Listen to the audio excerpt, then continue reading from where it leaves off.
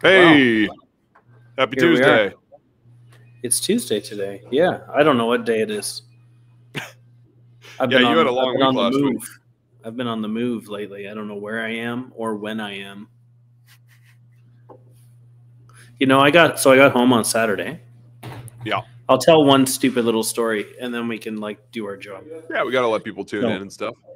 So I got home on Saturday and I putted around in the afternoon. I landed. My flight got delayed. I didn't land until like four thirty. So I'm putter, I'm puttering around. I ended up going to bed around I don't know, it was like eleven o'clock here. Right. And I slept straight through till noon the next day. Holy. Yeah. Like apparently there was like there was just people in my home, my children, who had been warned that should Yeah. I be awoken, there would be hell. Don't wake pay. the dragon. Yeah, I didn't even do it. I didn't even do it. So Well, nicely done. yeah, Welcome I back know. to Ontario. Here we are. Here I am in the nation's capital. Yeah. And welcome to Japanese Knife 101, everybody. Or Ottawa, if you are unfamiliar with Canadian geography for whatever reason. Mhm. So, well, so what we do, we used to do this all the time, but now we do it once a month. Japanese Knife 101 is Knifewear's version of, uh, it's like an AMA, and Ask Me Anything. We usually have a little bit of a theme. Usually Kevin's with me, but now we, we got Nathan today, so at least now you can tell us apart. Right. And Just barely. yeah, yeah, It's still another guy with glasses and a beard yeah, and long hair. But at least they've had a haircut in the last three years. Yeah. So, but you know, today we're going to cover the top 10 most asked questions. Now, I, Nathan had a list and I changed the list to be the fine. questions that I get asked most often. Yeah. I'm in Well, the don't- store a little bit more. Yeah. I don't really work in a Knifewear store much these days. Yeah. So I figured I would, I would come at it from that angle. What are the Yeah. 10 most questions? I don't know. I tried to put them in like order a little bit, but Yeah. You know, if it was on- if it was the top ten questions I get asked, it it would just be: Do you ship to America? Do you ship to Brazil? Do you ship to China? Do you ship to Australia? yeah. Down yeah. the list because I I just work online these days. Spoon Monkey's got a good question that I didn't think of, but we'll get we Okay. can we'll, we'll do Yeah. it. Yeah. Oh yeah, actually, I, we've got a we've got a blog and a video coming out about this topic soon, so Mhm. I'm excited to get into that. We should do the news first, maybe, and then we can. Yeah, let's get through our housekeeping. So I'll start Yeah. with the easy stuff. I'm going to tell you to like this video and subscribe to the channel. There's only 17 people watching. So odds are you have already subscribed to the channel because you know we're here. Yeah. And then, uh, you know, when if you, there's a little bell icon, I, I really didn't know this for the longest time, and I've said it a bunch because Nathan's told me to. But if you click on the little bell icon, like on your phone or whatever, you'll get like push notifications. So then, like when we go live or whatever, you'll get a kind of an in the moment update as to what we're doing, which is kind of nice if you like what we're up to. Yeah, If you God forbid don't- you want to actually watch the show, uh, it'll notify you when when it's on. Yeah. So, um, but you've got some real news. I just did the housekeeping. Yeah, uh, I do have some real news. Um, well, I one real bit of news is uh, Chris Lord was just in Calgary, uh, and it was really fun to have you here for a week, shooting lots of YouTube videos. So, uh, for those of you subscribed to the channel, keep your eyes peeled. Over the next several months, we'll be uh, Chris will be joining the cast of, of regular video hosts again, uh, and we got some great stuff coming up with him. Uh, we'll talk more about that later. Maybe tell a couple of stories. Um, really big piece of news. This is something that starts next week. We are sharpening for uh, relief for for uh, refugees from the Ukraine. Um, there's this obviously. I think we all know what's going on in the Ukraine right now, but there's this uh, really great Nathan? charity. Yeah, Nathan, I'm I'm sorry, but I'm going to call you out just a touch. It's just Okay. Ukraine.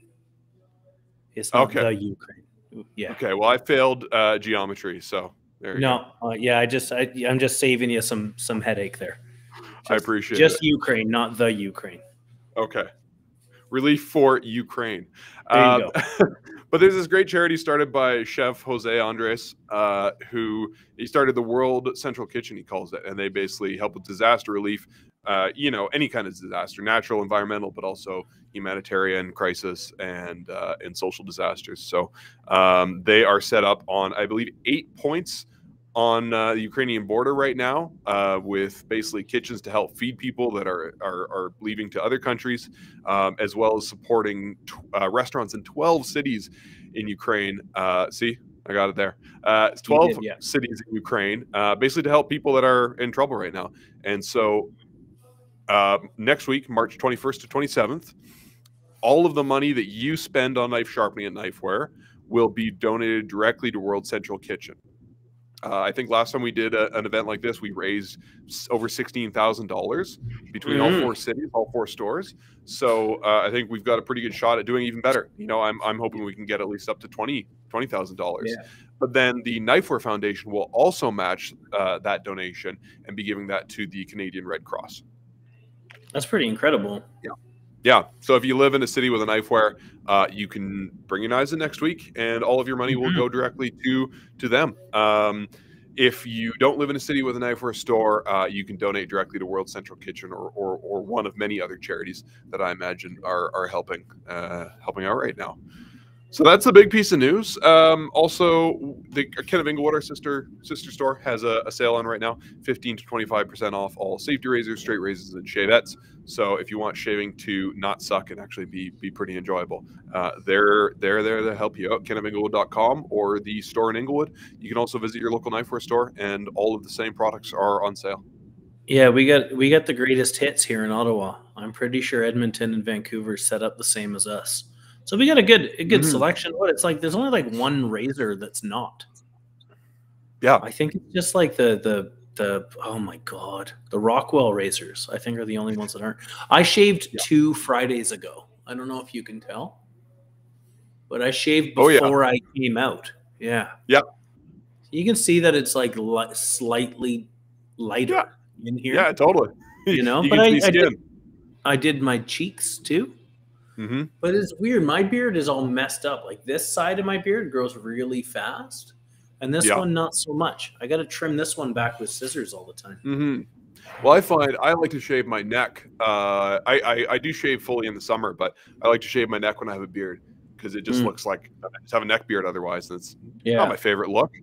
no. And uh, and I I use knew a guy that we for it. just called neckbeard. Yeah.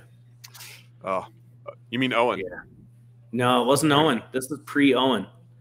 Okay. Pre Owen. I can't. I don't even know Neckbeard's Neckbeard's real name anymore. If we're being honest. So, well, here. You know what? Nathan had some news. So bring your knives in, get them sharpened, and help out some people who are helping lots of people. Yeah. I think that's nice. You should, if you're unfamiliar with Jose Andres, you should check him out anyways. Mhm. The guy's super talented. And over the last 10 years or so, like he's gone from like, I don't know if he operates in the fine dining world at all anymore. His thing for a really long time was like ultra high end fine dining in Washington. And then, um, and now he's made like, this is what he does. This is what he's known Yeah. for now. Definitely worth checking him out. Well, Uh, and I yeah. really like what they do too because they don't just show up and dump a ju- dump a bunch of food on the shore and, and piss off or or Yeah. you know put local restaurants out of business. They they hire local cooks and chefs and they help to rebuild uh, critical Yeah. food infrastructure in countries where it's been devastated again by really any kind of disaster. So yeah, I know they, made a really long term in their thinking. they made a really big different difference in I think it was Puerto Rico, wasn't it a few years ago? They were down there like yeah, after some yeah, they've been yeah uh, there uh, the Philippines not too long ago, bunch of bunch Yeah. of places. Yeah. So, what do we want to do? Do we want to address some of? You want to do our questions and then hop into some of the other ones? What do you want Sure, to do? yeah. While, How do you while we're while we're getting started, again today the topic is the top ten most asked questions about about Japanese knives uh, or Yeah. just at Knifewear in general. Um, but if you have questions in the meantime, I already see a couple good ones. Uh, just Mhm. pop them in the comments, and we'll that'll kind of fuel the fire later in the show. For sure. So here, this is my list. This is what I think we get asked the most. Maybe it differs right. from store to store. Yeah, I'm curious. I, I mostly work online on our social media and help desk nowadays, so I bet we've Yeah. got some different stuff.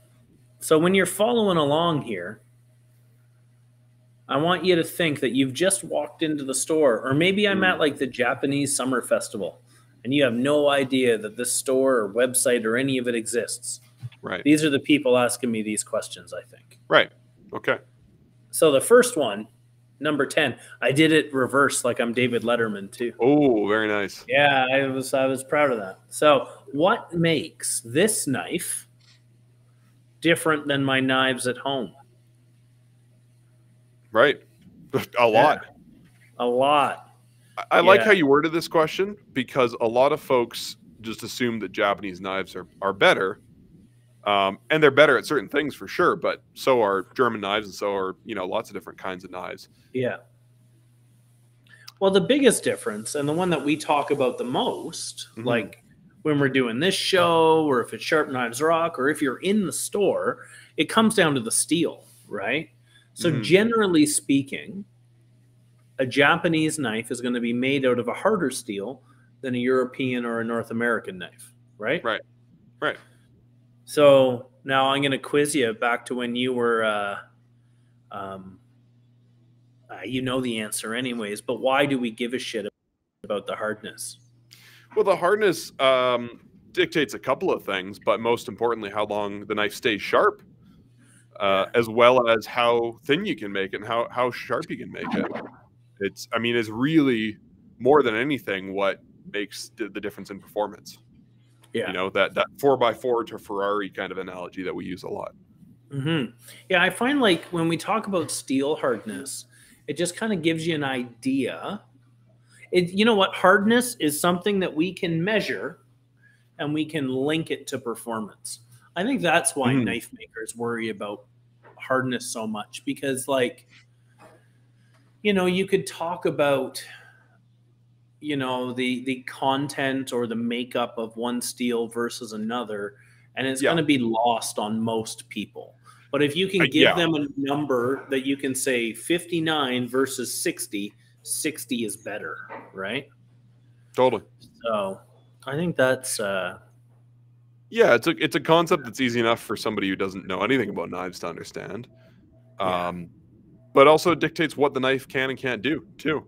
yeah And it's a really it's really simple. I mean, it's a bit of an oversimplification sometimes, but it's really simple for us to say hard knives are better for meat, fish, and vegetables.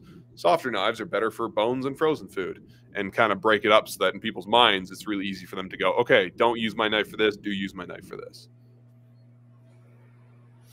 exactly right so yeah because a lot of one of the things you can you can tie in is uh as things get more brittle or as they get harder i kind of gave the spoiler there as they get harder they get more brittle right so Yeah, and it's important to realize too that uh, harder doesn't necessarily mean stronger. Sometimes, uh, Yeah. you know, depending on how hard the steel is. But my my father-in-law made that mistake, thinking that you know harder steel was more was just tougher. You could just beat on it more, and uh, and the knife will tell you uh, that that's not the case. Yeah you know what else is really hard glass Glass, yeah Yep. yeah not very tough though. no so well here Let's But see how Don we- Penny is Don Penny here. Uh, hopes you've got some index cards to throw around like Letterman. Oh, you bring I'll any? Find something. I got. There's always shit to throw around. Don't worry. You got some eight and a half by elevens there. You can toss around. Yeah, I got at least this. I got at least that. You can't I'll tear it. up. still need it. I still need it. Yeah. God, come on, guys. You think I practiced before today? Um. bu- bu- bu- Well, there's. You know what? Yeah, let's just. I want to answer. There are some good questions here. I want to answer them. Yeah, some of them are kind of building on what we're talking about too. Yeah, like um, I'm gonna go through them fast. Spoon Monkey. What's the difference between a $150 knife and an $800 knife made of the same steel? We're gonna talk. I'm gonna lump that into one of our questions coming up. I, th- I think Um, I actually put that in my list of questions originally. Mm, I did, yeah, because well, and I, I didn't include it in mine because I'm a bonehead. Come on. Chris. MRK wants to know: Do you ship to the ISS? I'm sure if someone on the International Space Station wanted a knife, we could figure it out. And they're probably not allowed to have knives up there. Yeah, that Um, might be a, a a hazard. I don't know. Maybe Amazon will start shipping up there soon, and we can get our knives on Amazon. Yeah. So Chris Rowe says, "What's the best steel for balance between hardness and edge retention, and family Mm. members not quite treating said knife with the same care and therefore damage?" I've got some votes. You know, Yeah, um, Let's hear it. I like I like Ginsan steel for that. Like Mhm. the Haruyuki Kokuto, I think handles some abuse a little bit better than other knives. I also really like um, the Cobalt Special that the Kurosaki Sasame is made out of. I bought Right. one of those. I was tasked with the job of finding a knife for my father in law. And at the time, I wasn't too sure how he would handle a Japanese knife because, uh, for the most part, they just had like stuff picked up at IKEA or the department store, whatever, and it went into the dishwasher. And that's, you know what, I'm not going to give anyone a hard time over that because I've got knives at my house that go into the dishwasher. Sure. You know, I care I about something. dishwasher, I would more too. than- Yeah, you know, obviously, I'm not putting like my Fujiwara Denka in the dishwasher, but I'm definitely like, you know, I got like a handful of Kuhn pairing knives. Oh yeah. that I Totally, don't yeah. particularly fuss over. No. They're in and out No, of the dishwasher. If I if I had a dishwasher, my Henckels would probably go in there when I was done with it. Yeah. So yeah, I would say I like getting something up a little bit. Uh, you know, like AUS eight, VG ten are Mm. great answers as well. But I think if you Right. want to get a little more performance out of them, like if you're willing to take the risk just a touch more, I think the extra hardness that you get out of Ginsan or that that Cobalt Special is a really good one. Right. odds are though you're probably looking at like vg10 gives you the biggest like like It's, it's a really good balance between. yeah, So I'm I'm gonna elaborate on that a little bit because basically my, my answer is the same as yours, but I think it really depends on the individual knife. Um, because I have given people who are tough run knives VG10 knives, but because they were too thin, they got chipped. And so I would say get something that's around the hardness of VG10, but get something that's thicker. I got uh, I got somebody in my family in Masakage Kiri, love the knife, uh, but they tried to cut a lobster with it, and that went really Yeah. badly um, because that's a very very thin knife. Um, what I ended up kind of getting them to upgrade to or change to was uh, I think like a Fujimoto hammer tone. Um, Haruyukis are really good for that too, like the Kokuto or or Mhm. Goma or Mugi, because they're all thicker behind the edge, and that steel isn't Yeah. gonna chip or crack or get get smashed up as easily. you know what i've got a haruyuki kuma it's made out of srs 15 which is Yeah. a powdered steel it's a lot harder than a lot of the other things we've been talking about and to be honest i really do i've really put it through its paces i've split a lobster with it like cracked the claws Yeah. and everything and i didn't chip it i also kind of know what i can get away with Yeah, Uh, Kn- kn- knowing how to use a knife, I think, makes a big difference as to how. Yeah. yeah, because I put I've put my Denka through like you know chicken wishbone and and other Yeah.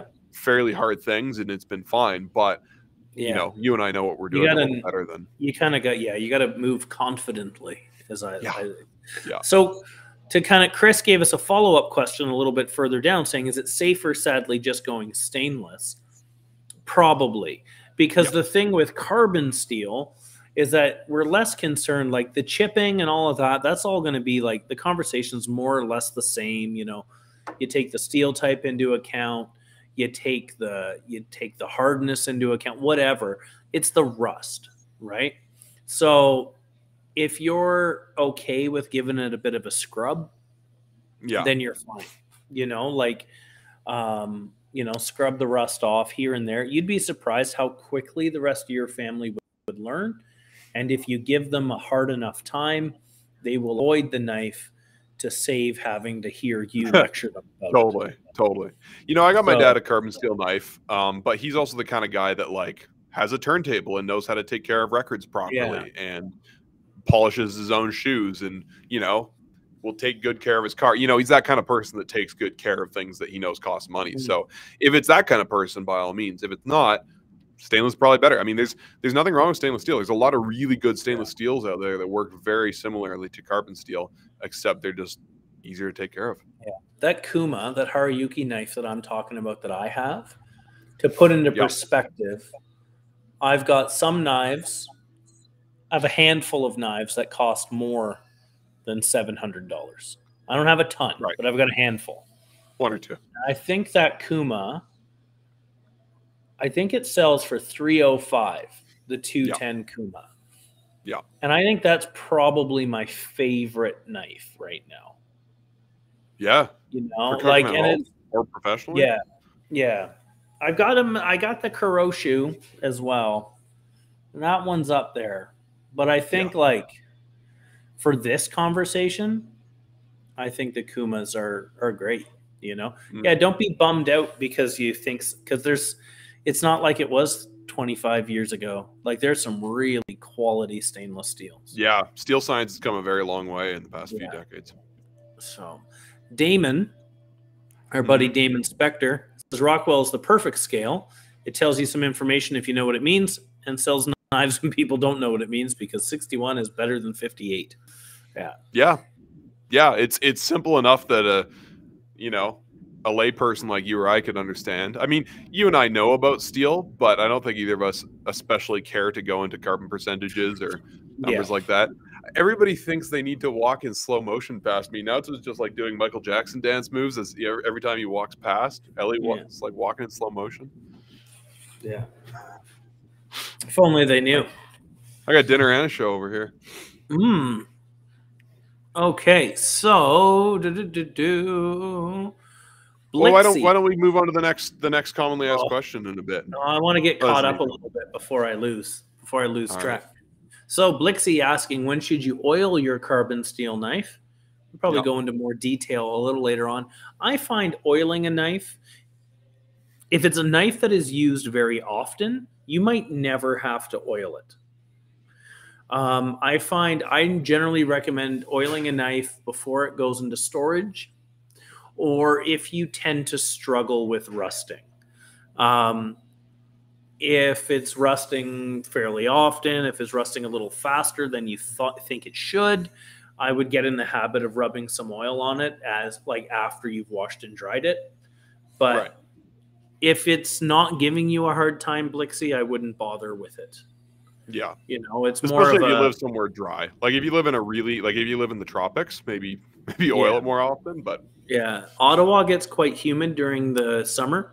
Like if you lived here, I would say oil your knives. If you're not using them every two weeks, I would put a bit of oil on them just to make sure they yeah. make it. Uh, DJ Sergiotto, I think they're they're over in Europe. Uh, yeah. Who's the blacksmith behind the Kobayashi knives? I don't know. I don't know. I know Kobayashi himself is more of a sharpener. Right. Um, yeah. Um, if you tune in next week, uh, yeah. I'll just plug our other show real quick. Naoto's Nerdy Power Hour. Uh, we're actually talking about master knife sharpeners next week, so Kobayashi yeah. may come up. But uh, Naoto is of all of us, he's the one that speaks Japanese, and uh, yeah. but more so than that, he is our like ambassador to, to Japan, and so he he yeah. knows all the the secrets. Well, a lot of the secrets this kind of stuff. As many as they're going to share, right? I think the yeah. way Kobayashi does business, and this is like this is kind of speculative. Like, don't quote mm. me, but I think he does. He works in very much the way that a lot of knife makers in Sakai work, where he purchases his blades from someone else and yeah. finishes them himself. Yeah, and that's right? pretty standard practice in a lot of places. Yeah. Well, like if you look at like, you know, like let's look at like Kotetsu Kotetsu's for a minute. Like we know that the blacksmith is Ikeda-san. Right. Right? But the person who's on the box is Shibata-san because Shiba sharpens them. And it's kind of like right. I touched it last, right? Like that happens a lot. Yeah. So well, especially like you know that I think some of the a lot of people watching know this, but uh, maybe not everybody realizes just how much work the sharpener does. Like they take a, a raw piece of steel that looks kind of like this, and they turn that into a knife. And so they're like yeah. they're touching every single part of this knife to shape it and perfect it and uh, and make it make it beautiful and perfect. It's a it's a lot of work, and the skill and techniques that they use will do quite a bit to determine how well it cuts. Yeah. So that was a bit of a merry-go-round there, DJ, Yeah. to tell you that I don't know the answer. So Yeah. Well, Sergio's always got good questions, so I'm sure there'll sure. be a couple more we can answer. Uh, bum bum. Don Oh. Penny says that he doesn't worry about people messing up his knives because he can just come down here and we'll fix them. That's true. We can if you live within spitting distance of a Knifewear. You can just Yeah. wander in and get your knives taken care of. Uh, you can mail them in too. There's a option on the website. If you get them mailed in, odds are Naoto does them. So unless you really don't want to.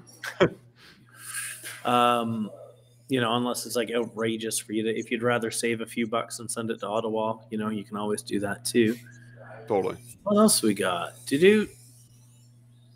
Um, let's, you know what, Nathan? Let's just hammer through these questions and then we'll get to question number nine. Sure. Because it's really good. more about answering people's questions than me deciding what you want to hear. Yeah. Okay. I think it's more entertaining. so DJ had a second. He had a two-parter there. Yeah. Um, two questions. Fujiwara, you say on the website that he's credited with the invention of Nashiji finish and San Mai stainless clad with carbon core. Can you please share the sources? Do you know what it is? it's that he said so. Yeah. Essentially, Yeah, that's that's it. I mean, yeah, for a lot of this information, we we just go right to the source. Um, yeah, uh, that as far as we know, he was the first blacksmith who started making stainless clad carbon knives. I think I don't know, was that like 25 years ago or so? I feel like I remember hearing that. But that's. I think that's what we've been told. Yeah. He was the first he was the first known blacksmith. Like somebody else might have done it first but as far as like selling knives uh Yeah. that anybody got their hands on he was he was the first one. And then eventually eventually Takeda started doing it and you know the Masakage guys started doing it. Like they started factory laminating the steel after after that. Yeah. but he was uh, he was the first and he did he still does it from scratch for his what uh The Maboroshi and. Denkas, yeah. And that's why, you know, to go kind of go back to, uh, you know, we had the question about a $400 knife versus an $800 knife. The biggest difference between, like, let's, I don't know, put a Denka 210 beside a Koishi 210. They're both Aogami Super with a stainless steel jacket. But Fujiwara adds that step, right, of forge welding it himself, which then increases you know increases the work increases the performance and therefore the cost. So that's one of the things when we're comparing like a $400 knife against an $800 knife or even a $200 knife against an $800 knife right? So um but yeah you know what uh dj i we were that came from fujiwara himself. Um you know what I, I just uh, I just phoned a friend, aka Naoto, who was walking by, and he said Mhm. he said there's there is some you know hard to say for sure. You know, around Yeah. the same time, other people like Taka people in Takefu started doing it as well. yeah um, several it's maybe it's like the know. space race What's you know, that? everyone every, Oh. is kind of like the space race. Everyone had the same idea. and yeah, he just of is. stick his flag in the moon first. You Yeah, because I don't think it was like as far as like the idea, it wasn't like you know he he went on a spirit quest and you know some mystical being told him to do it. Like I think it was probably a, a thing a lot of people were probably trying to do for a while, but just couldn't maybe figure out the process of. Um, bum, bum, bum, bum. E30 Birdie. I'm worried about buying the girlfriend anything better like powdered steel, as some seem to be a bit chippy. So Victorinox, you know what? I can get a Victorinox really sharp. Yeah, Yeah, yeah, Yeah, do it up. If that's what works. That's what works. You know, my my partner uses a, a Ginsan knife that we used to mm-hmm. sell and hasn't hasn't damaged it or chipped it. You know, I might not be thrilled if it went in the dishwasher, but I also wouldn't cry. Like You're not gonna if you want to upgrade, it. yeah, something like AUS six or you know VG10 You know? Ginsan. Haruki Mugi, AUS eight. You can't kick Yeah. shit out of it, to be honest. I don't see a lot of those coming back chipped. Like I, it's been No. a while again since I worked in the store, but No. and that's yeah. what. So when I was teaching at the college, I eventually just wrote off a couple of knives for myself while I was Mhm. teaching. Right. And I grabbed a 210 Mugi, a 135 mil Mugi, and that's what I brought to school. Mhm. And I let the students use it. I never had to worry about them. Yeah. Um, yeah. Yeah. Jordan Um, here. I just Go want to say real quick because we just got a bunch of new folks that have tuned in the last little bit. Thanks everyone for tuning in. Uh, next week in all Knifewear stores, March 21st to 27th, we are sharpening for Ukraine.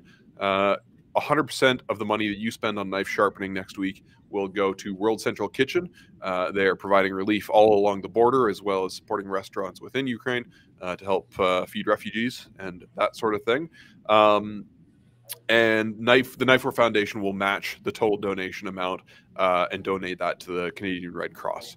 And last time we did a charity sharpening drive i think we raised over $16000 so we're hoping to do even better this time. So bring your knives down to Knifewear and we'll uh, we'll sharpen them up for you.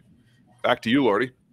Back to me as I float through. Sorry, I decided I'm looking up the answer to a question up ahead. oh sure. But- do you want me to read out the next one Yeah, hit up the next one there for me. from jordan or corey here Go with Jordan. Go with Jordan because I'm Yeah, looking up or I'm double checking my Okay. answer. For, Have any of you fellow nerds tried using a T12 metal file as a base plate uh, instead of gouging an atoma or ceramic stone when grinding a chip tip or fully broken blade? Oh, uh, not me. I, I tend to just use the gear we have lying around. Um, one thing that's uh, really handy that you can do with uh, fixing the tip, and it Francis actually teaches this in our uh, how to fix a knife tip video on our YouTube channel um, is he uses the side of a stone. He has a 220 and he used the side of that to fix a chip tip. Um, I, it depends on how bad the tip is, you know. Uh, it is a bit of a slower process that way, but that that's one way to go about it. Um, as far as using like files, you know, people use files to sharpen axes all the time. The main thing you want to be, concerned with is the same as when you're using any other piece of equipment. It's don't you know make sure you're not building up heat, which I can't imagine you're going to do with a file, and uh, and just make sure you're taking your time and going slow and uh, and not removing metal where you wouldn't want to remove metal. You know that you're keeping the knife profile nice and straight and all that. Yeah. Yeah. Well, oh, you bugger! You're moving things around on me. We're both doing the same thing. Um, so Corey has heard that Kato forges the R2 Kotetsu, which would make sense since Ikeda mainly forges carbon steel. From what I've seen, is this true? I double ch- well, I looked, but as far as for the longest time, it Mhm. was our understanding that Ikeda, in fact, worked the Kotetsus. Um, Kato, in the last couple of years, has started dabbling with R2 a little bit more, R2 SG2. Um, Someone is yeah, making those like black Damascus knives and stuff. yeah. So, um, as far as I know, it's Ikeda. Um, Ikeda had been working on that with kind of almost namelessly for a long time, while um, still kind of working under his uncle's, like making Right. knives under like the Anryu brand. Before he took Um, it over last year, kind of. Yeah, the the Kotetsus were kind of his thing before that. Yeah, right. Same with Tinker, right? Yeah. Yeah. So Yeah. yeah, Ikeda is the blacksmith behind the Tinker knives too. Yeah. So that's I don't know. I think that's pretty exciting. Ikeda he makes really good knives. So Yeah. Um, Jonathan, see this is what happens if we start talking about our shit, then we fall behind. That's okay. This is more. This is more interesting, anyways. I'm This sure is more fun for me too. Yeah. Uh, Yeah. I'm looking for a knife with a very prominent Damascus pattern like the Yoshikane SLD Gyuto that I have. Just wanted to Hmm. know if you guys know of any other ones like them. I don't know what a Damascus Yoshikane looks like. I know, look it Well, up. I looked it up, and surprise, surprise. Can you guess what it looks a, little bit like? I got a guess. Okay, so it looks just like a Masashi Kuroshu. Um, I have one. I don't have it here though. It's a two. I have a 240 Gyuto. So the reason why we said guess what is because Masashi is the is the younger brother of the fella who owns Yoshikane, but he's Yeah. takes more of an ar- ar- artistic approach. Say, much more hands on. He's only recently hired some staff. Um, He's You he's going to take a vacation soon too. Hasn't had one of those in I think a couple of years. He's Yeah. a hardworking guy. Yeah. So um, they're not cheap. I'll tell you that right now. hmm But it's pretty amazing. I wish Well, I had one here. I don't even think we have one to. I, I just downloaded a photo off our site. Uh, he's he's got a he's got some good reasons why his knives cost what they do too. You know, uh, it really comes down to the work that he does.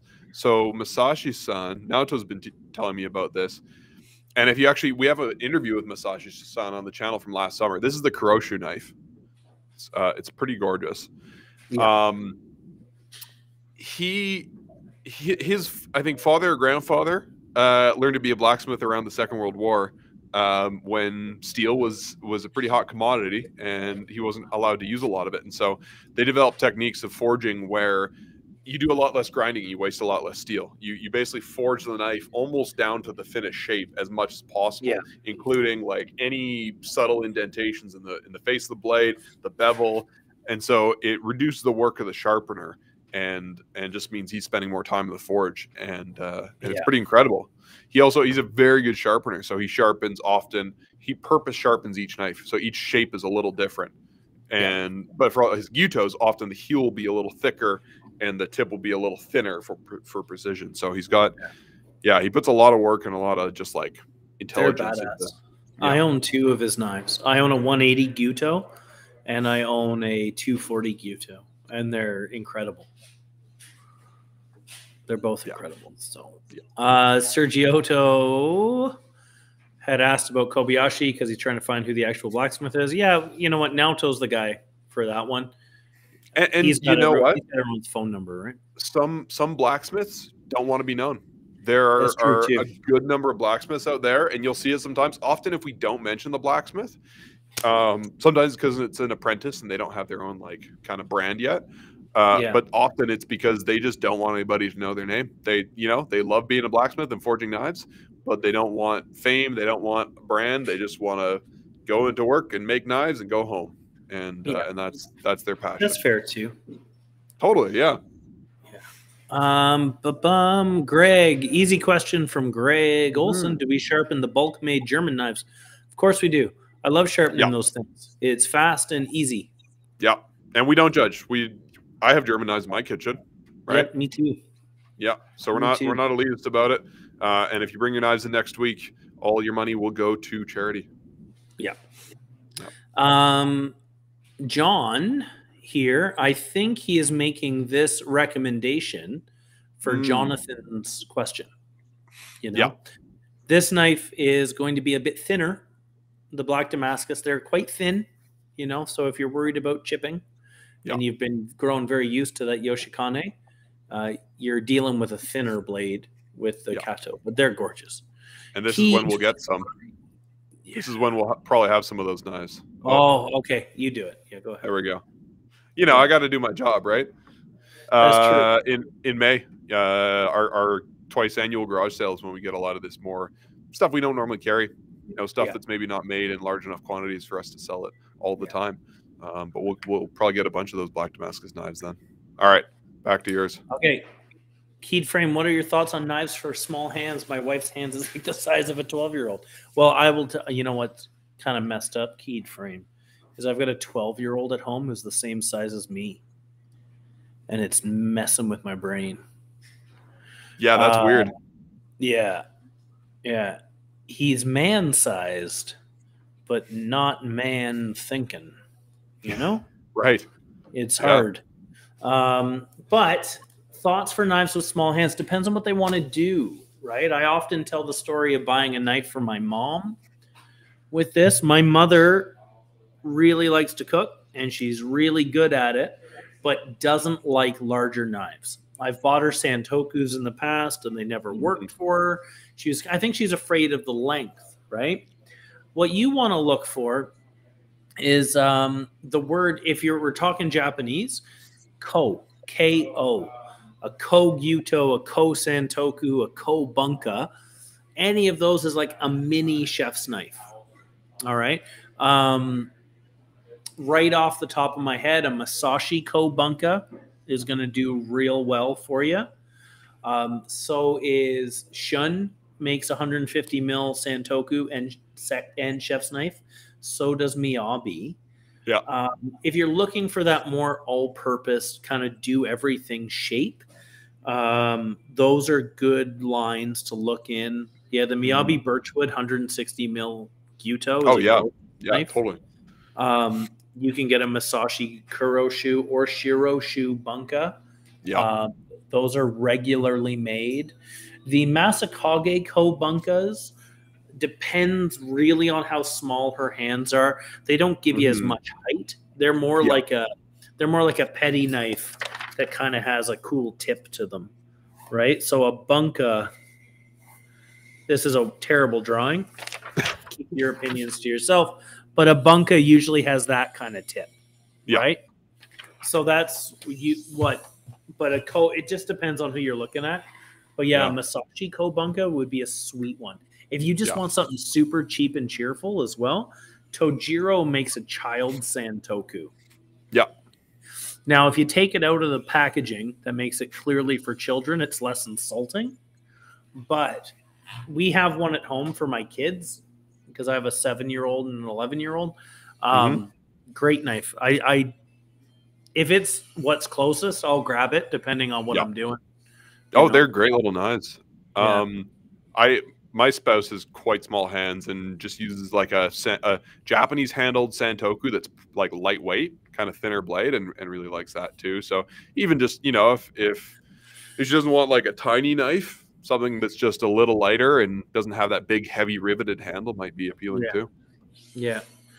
Um, let's go back. DJ was just, you know, confirm the Fujiwara question, just trying to find some, just yeah, trying to cite sources. That's that's Yeah. okay. It's a good thing to do on the internet. There's a lot of people that don't cite Yeah. sources, so well done.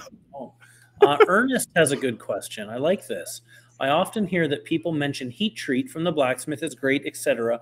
But how can we actually tell if the heat treat is good? Let's say we're holding those knives in hand. Mm, I immediately thought of edge retention is going to be your best bet for determining the heat treat, right? Right. Like if you're using the knife and someone tells you that this is a really great knife, now that means you probably still have to do a little bit of maintenance. You don't get your honing rod out, get your strop out, but it Mhm. shouldn't go like ridiculously dull quickly yeah. right you can also tell like when you're sharpening a knife how quickly does the uh, does the burr form sometimes it just goes faster than you think it should Yeah. and that can be an indication that it hasn't the heat treat wasn't done properly Sure. um, there's no sadly there's no way that i can tell you just by looking at it Um, Yeah. you know it's more of a consensus it- thing. Like, you know, we, we get a lot of these knives coming back, and if you know, over the years, we'll definitely notice if certain knives are coming back more often, Yeah. chipped or dull really quickly, or that sort of Yeah. thing.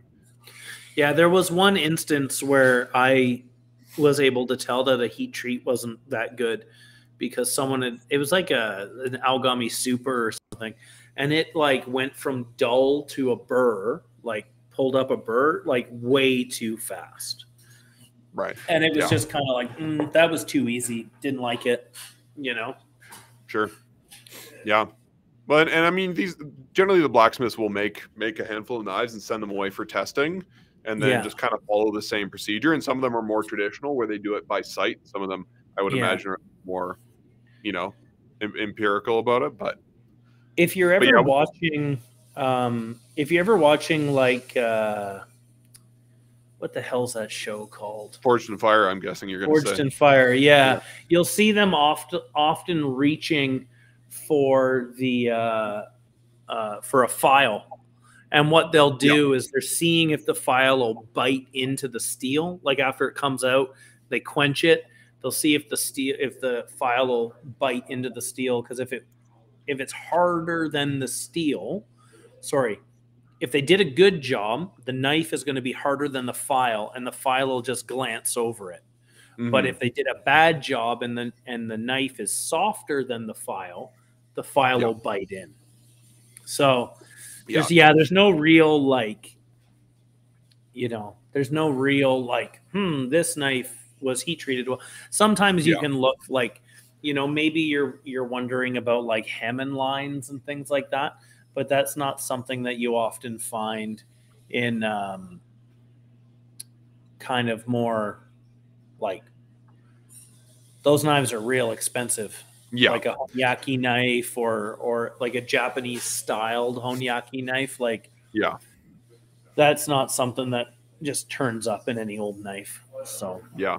My buddy know. Chris Green, uh, my buddy Chris Green makes like camp knives, like yeah. much knives that are much more robust than Japanese knives, and so he usually uh, just tests the knife by going to town on a two by four, and he has had knives like just crack apart on him Mm. uh, and break.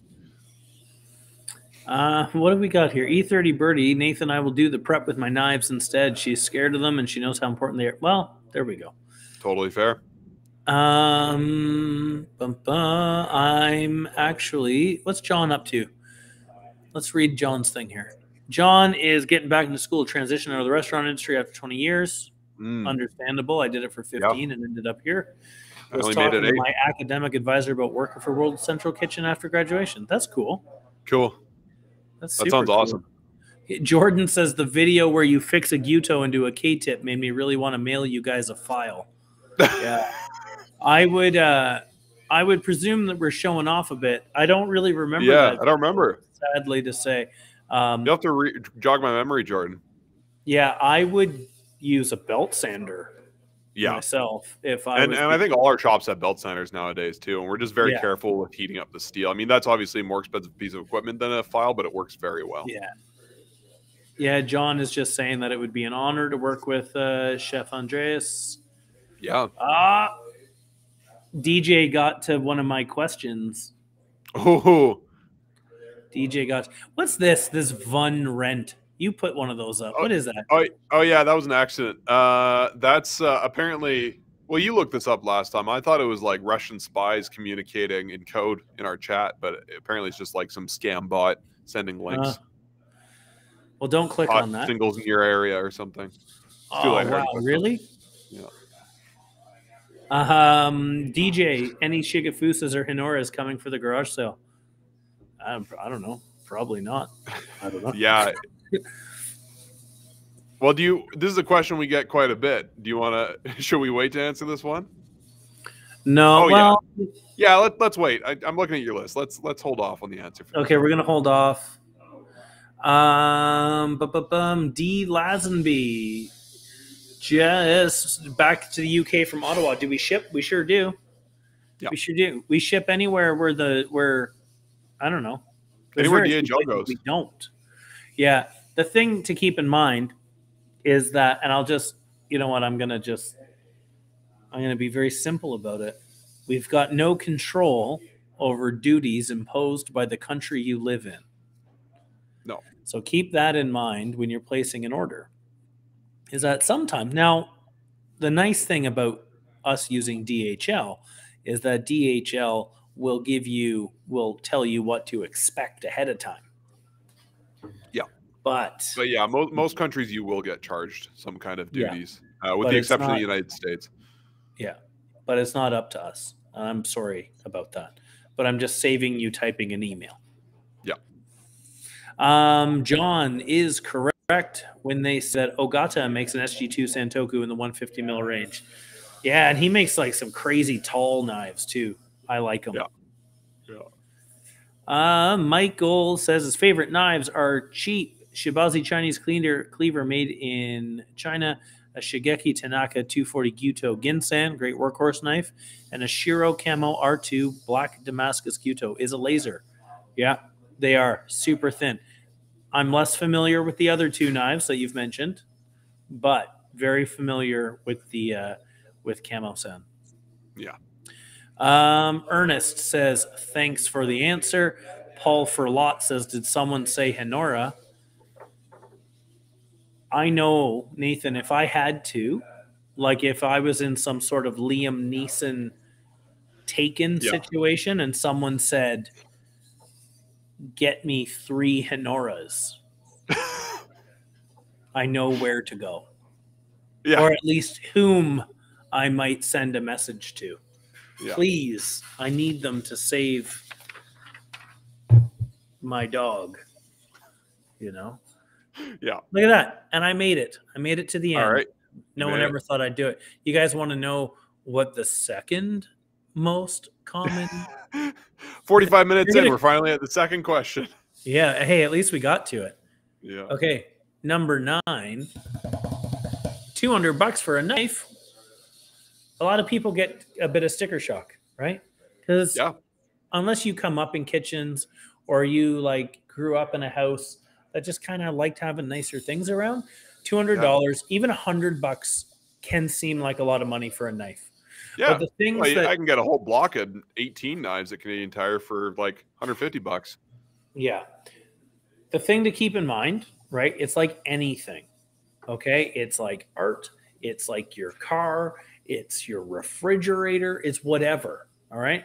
Is who made it? What's it made out of? And how long did it take?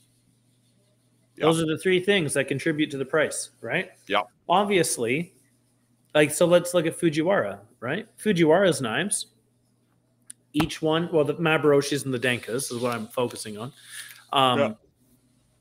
incredible uh, materials takes a long time because they do the forge welding right and fujiwara has a real has an immensely great reputation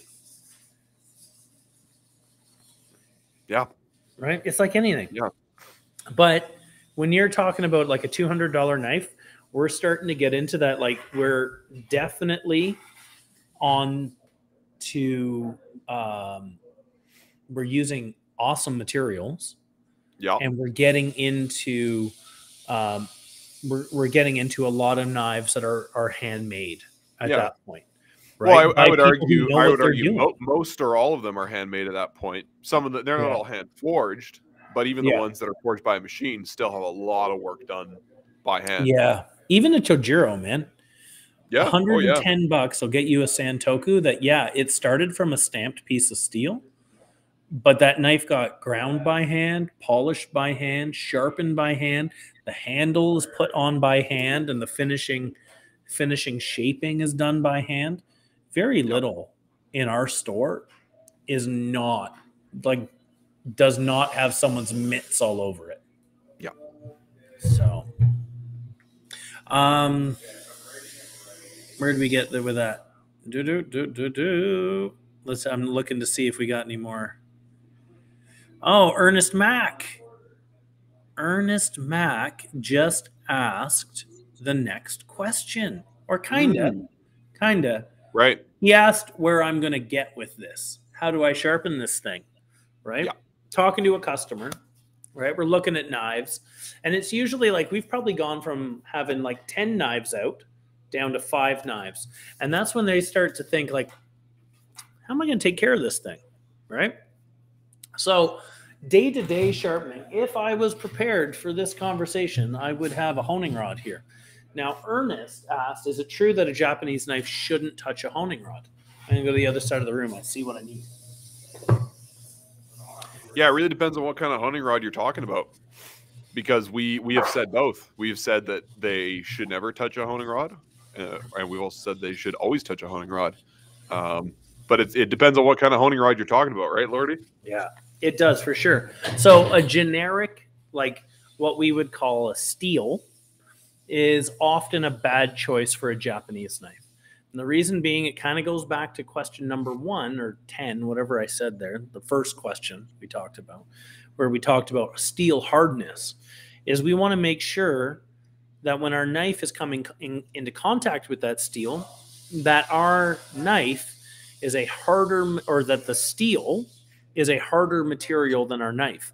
Otherwise, they don't work properly and they can cause a bit of damage. So that's why we sell ceramic honing rods. And we sell these guys for half off when you pick up a new knife. That's in store or on the website, whatever works for you. Right? The mm-hmm. idea is that the ceramic honing rod doesn't allow the knife to bite into it, and then it doesn't kind of cause any troublesome damage down yeah, the the, road. the texture's not really rough. It's not as a- Yeah. abrasive as a diamond rod, which can remove metal. Yeah, yeah. I try to avoid those diamond, uh, Yeah, even on even on cheaper knives. To be honest, I don't like them because they are designed to remove a lot of steel and it takes the control away from me. Yeah, they're like craft Yeah. knives. It works great, and then you just need to use it more and more and more, and your knife just gets worn down and down and down. DJ DJ's got all the hard questions today. You see? Yeah, This guy's like coming right for me. Holy moly. Well, I'm going to answer. I got to guess. Now, I can't speak with any true authority on this. yeah. Um, These are some good Naoto questions. this is these are good questions for Naoto, but I have a guess. I kind of when I'm in these situations, I I try to go with like WWKK do D, WWKKD. What would Kevin Kent do? hmm Right now, I've met Fujiwara. Fujiwara isn't a, the kind of person where you would just casually ask him for a favor. hmm He's a pretty tough customer, that guy. So I think you'll see. Um, I think we like to just highlight him for who he is. You know, we have had we have had some knives that no one else got before from Fujiwara, but Yeah. it doesn't benefit anybody to call it a Knifewear knife, right? It's Yeah. Fujiwara. Fujiwara is the guy who put the work in. He's the guy who's you know his family's been at it for God knows how long, four generations or something like that. No real benefit calling it a knife or a knife, I don't think. Well, and and I mean to maybe further how Kevin might respond. Uh, you know, he's a bit of a bit of a Tom Waits or a, a Neil Young in the knife making world. He's not. Uh, I think he's just he makes knives for himself that he also Yeah. sells. You know, Yeah. he makes knives that he really likes selling, and we kind of kind of like how we always use his name, his full name. You know, we don't we don't abbreviate it. He's we not we don't call him ever we don't ever call him TF. yeah, because Some he's like to do he's that. somebody that commands some serious respect and and you know we're, we really like the knives that he makes and so we're, we're pretty happy with those um i, I Well- would like I, I would love to see some of the collaborations he's done with people i bet they look really cool um Yeah. but yeah we're pretty happy with the knives we get from him for sure for sure. I got to spend a couple of days with him in japan once and i'm i'm not a small guy. Mm. um, i'm definitely a hell of a lot bigger than fujiwara-san is but i was afraid of him. Yeah he's got a presence. The whole time we were there yeah. I got to meet him when he came to calgary and he's he's a cool dude but he's definitely like you know you yeah just be happy he likes you yeah like that's kind of the impression i got was like oh this could be bad if he didn't like me so i was i ended up in charge of ordering dinner when he was in town and i uh i fed him too much meat i was gonna say how He would was- you screw that up He was very happy with dinner, but I I forgot to order mm, really any vegetables, and he, he was sad like that you. there were no vegetables. Uh, Kasumi would have been mad too. Yeah. Or Kasumi would have been happy. Yeah, well, she would have Kasumi been was mad happy. if you ordered veggies. Yeah. yeah, right. Um, there's an interesting. I'm going to skip ahead of Corey for a second because Michael said the best honing rod I've used is a sintered Reuben. It's a it's a ruby. Oh, I've heard about this. So I got to use one. I got a I've a, uh, a friend here in Ottawa named Gary. Mm. Gary has one. He's super into sharpening. Um, and yeah, he bought one. Uh, incredible. And yeah, they really, but they're not cheap. No, The nice thing about the so. ceramic, the nice thing about ceramic is that like they're 64 bucks, Yeah, right? The I remember the the sintered ruby one that he had, and this was like two years ago. I think he spent about 150 bucks on it. okay. That's I mean that's You less know, than so it's not, it's not crazy, Yeah, but there is like a. Uh, Ruby honing rod just sounds like a Minecraft item. it sounds like something that you would have. Yeah, So I want one. Um, yeah, you could put it beside all your rose gold cocktail gear. right. You got like a dragon's horde when it comes to eating and drinking. Um, Corey And teeth apparently too. says, "I know, yeah, that's true. Often listen Moritaka, Fujiwara, and Mizaki as blacksmiths that forge weld, but you guys also have some other smiths that do that from southern Japan, like Kajiwara and M- Munetoshi and Shindo. Mm. Yeah, so that's true. Um, Yep. But these, we just don't. Um, we haven't been dealing with these people quite so much Mhm. yet. You know, so we'll get there. Yeah, yeah. We'll we're always looking to branch out. The the Moritakas, I think we were their first customer outside of Japan ever, Yeah. and uh, and they're just you know, we just love them and their story. That I think we we focus on them a lot because we just kind of have a love affair with their knives and their story. Same with Fujiwara, right? Like they're one of the early. He was one of the earlier makers that we brought in, and uh, that was really exciting to us. And so it just kind of has always been a focus. But uh, yeah, I hope to see. I mean, as I've said before, we get a lot of these other knives in the knife work garage sale, and as demand for Japanese knives grows, we'll continue to need to talk to other makers. Um, we also have our small makers month every summer where we kind of highlight some of these folks, and so hopefully we'll get to talk about them a bit more soon because I, I love learning about new new makers or makers that I haven't heard about. Yeah. Um, I just want Owl Woodworks earlier Mm. says, uh, imagine calling Teruyasu Fujiwara Terry. Oh, not to his think face. If you did that to his face, you might you might get to learn how to like cut off a piece of your own finger in front of an audience. I remember the story Uh, about what, what I can't remember if it was Toru, but Ke- or maybe it was Naoto. Kevin Kevin took somebody to Japan for their first time, I and think this and might have been me actually. was it you? Well, It and might been. Fujiwara, they they went to meet, meet Fujiwara, and he walked them into his office, and there just there was a golf bag in the corner of the office. No, this And- wasn't my story. No. Okay, and there was there was a mixture of golf clubs and katanas. And Yeah. he walks over to the golf bag, and as they're following him, he just grabs the h- handle of one of the swords and just like, like, like in, in anime, he just like whips it out and settles over here with the tip of the sword like this far from the, the poor guy's nose. Mm, As a I joke, watched you know, him, like- fooling around. yeah. I watched him beak a car. Like we were crossing the street to go into a liquor store. And uh, because we had like sake with dinner, he took us out for sushi the night before, and it was incredible. And Kevin and I both really enjoyed the sake that we had with dinner. It had this like kind of green peppercorn flavor to it. And we had mentioned really liking it. And he's like, Oh, well, I know where we can buy it. Let's go get it. And we went the next morning and we were crossing the street and uh, he was crossing and there was a car coming and i was like oh Fuji, just be careful fujiwara-san you know? And because this person didn't look like they were stopping. Right. and he just walked out in the middle of the street stopped in his tracks stared at the car. I think peter mentioned this in the comments. Stared at the car and wouldn't move. The car had to turn around and, and go. He just wouldn't move. Yeah it was nuts. Yeah.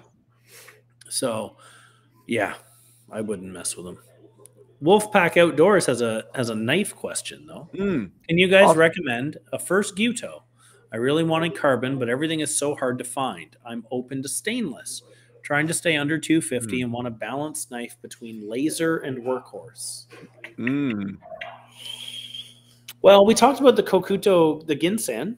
That would, nah, it's not really, is it laser enough? The Fujimoto SLD, that's close. I'm going to presume 250 American.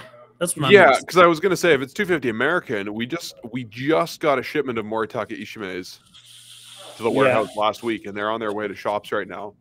But the the Moritaka Ishime 210 or 240 Gyuto is a pretty sweet knife, Mm. and it's full carbon. Full carbon, yeah. It's gonna be, it's gonna lean a little closer to workhorse than laser in Mm. the beginning. You know, it's got a very short bevel, so I, I find that tends to. But that's what I used. My first knife was a 240.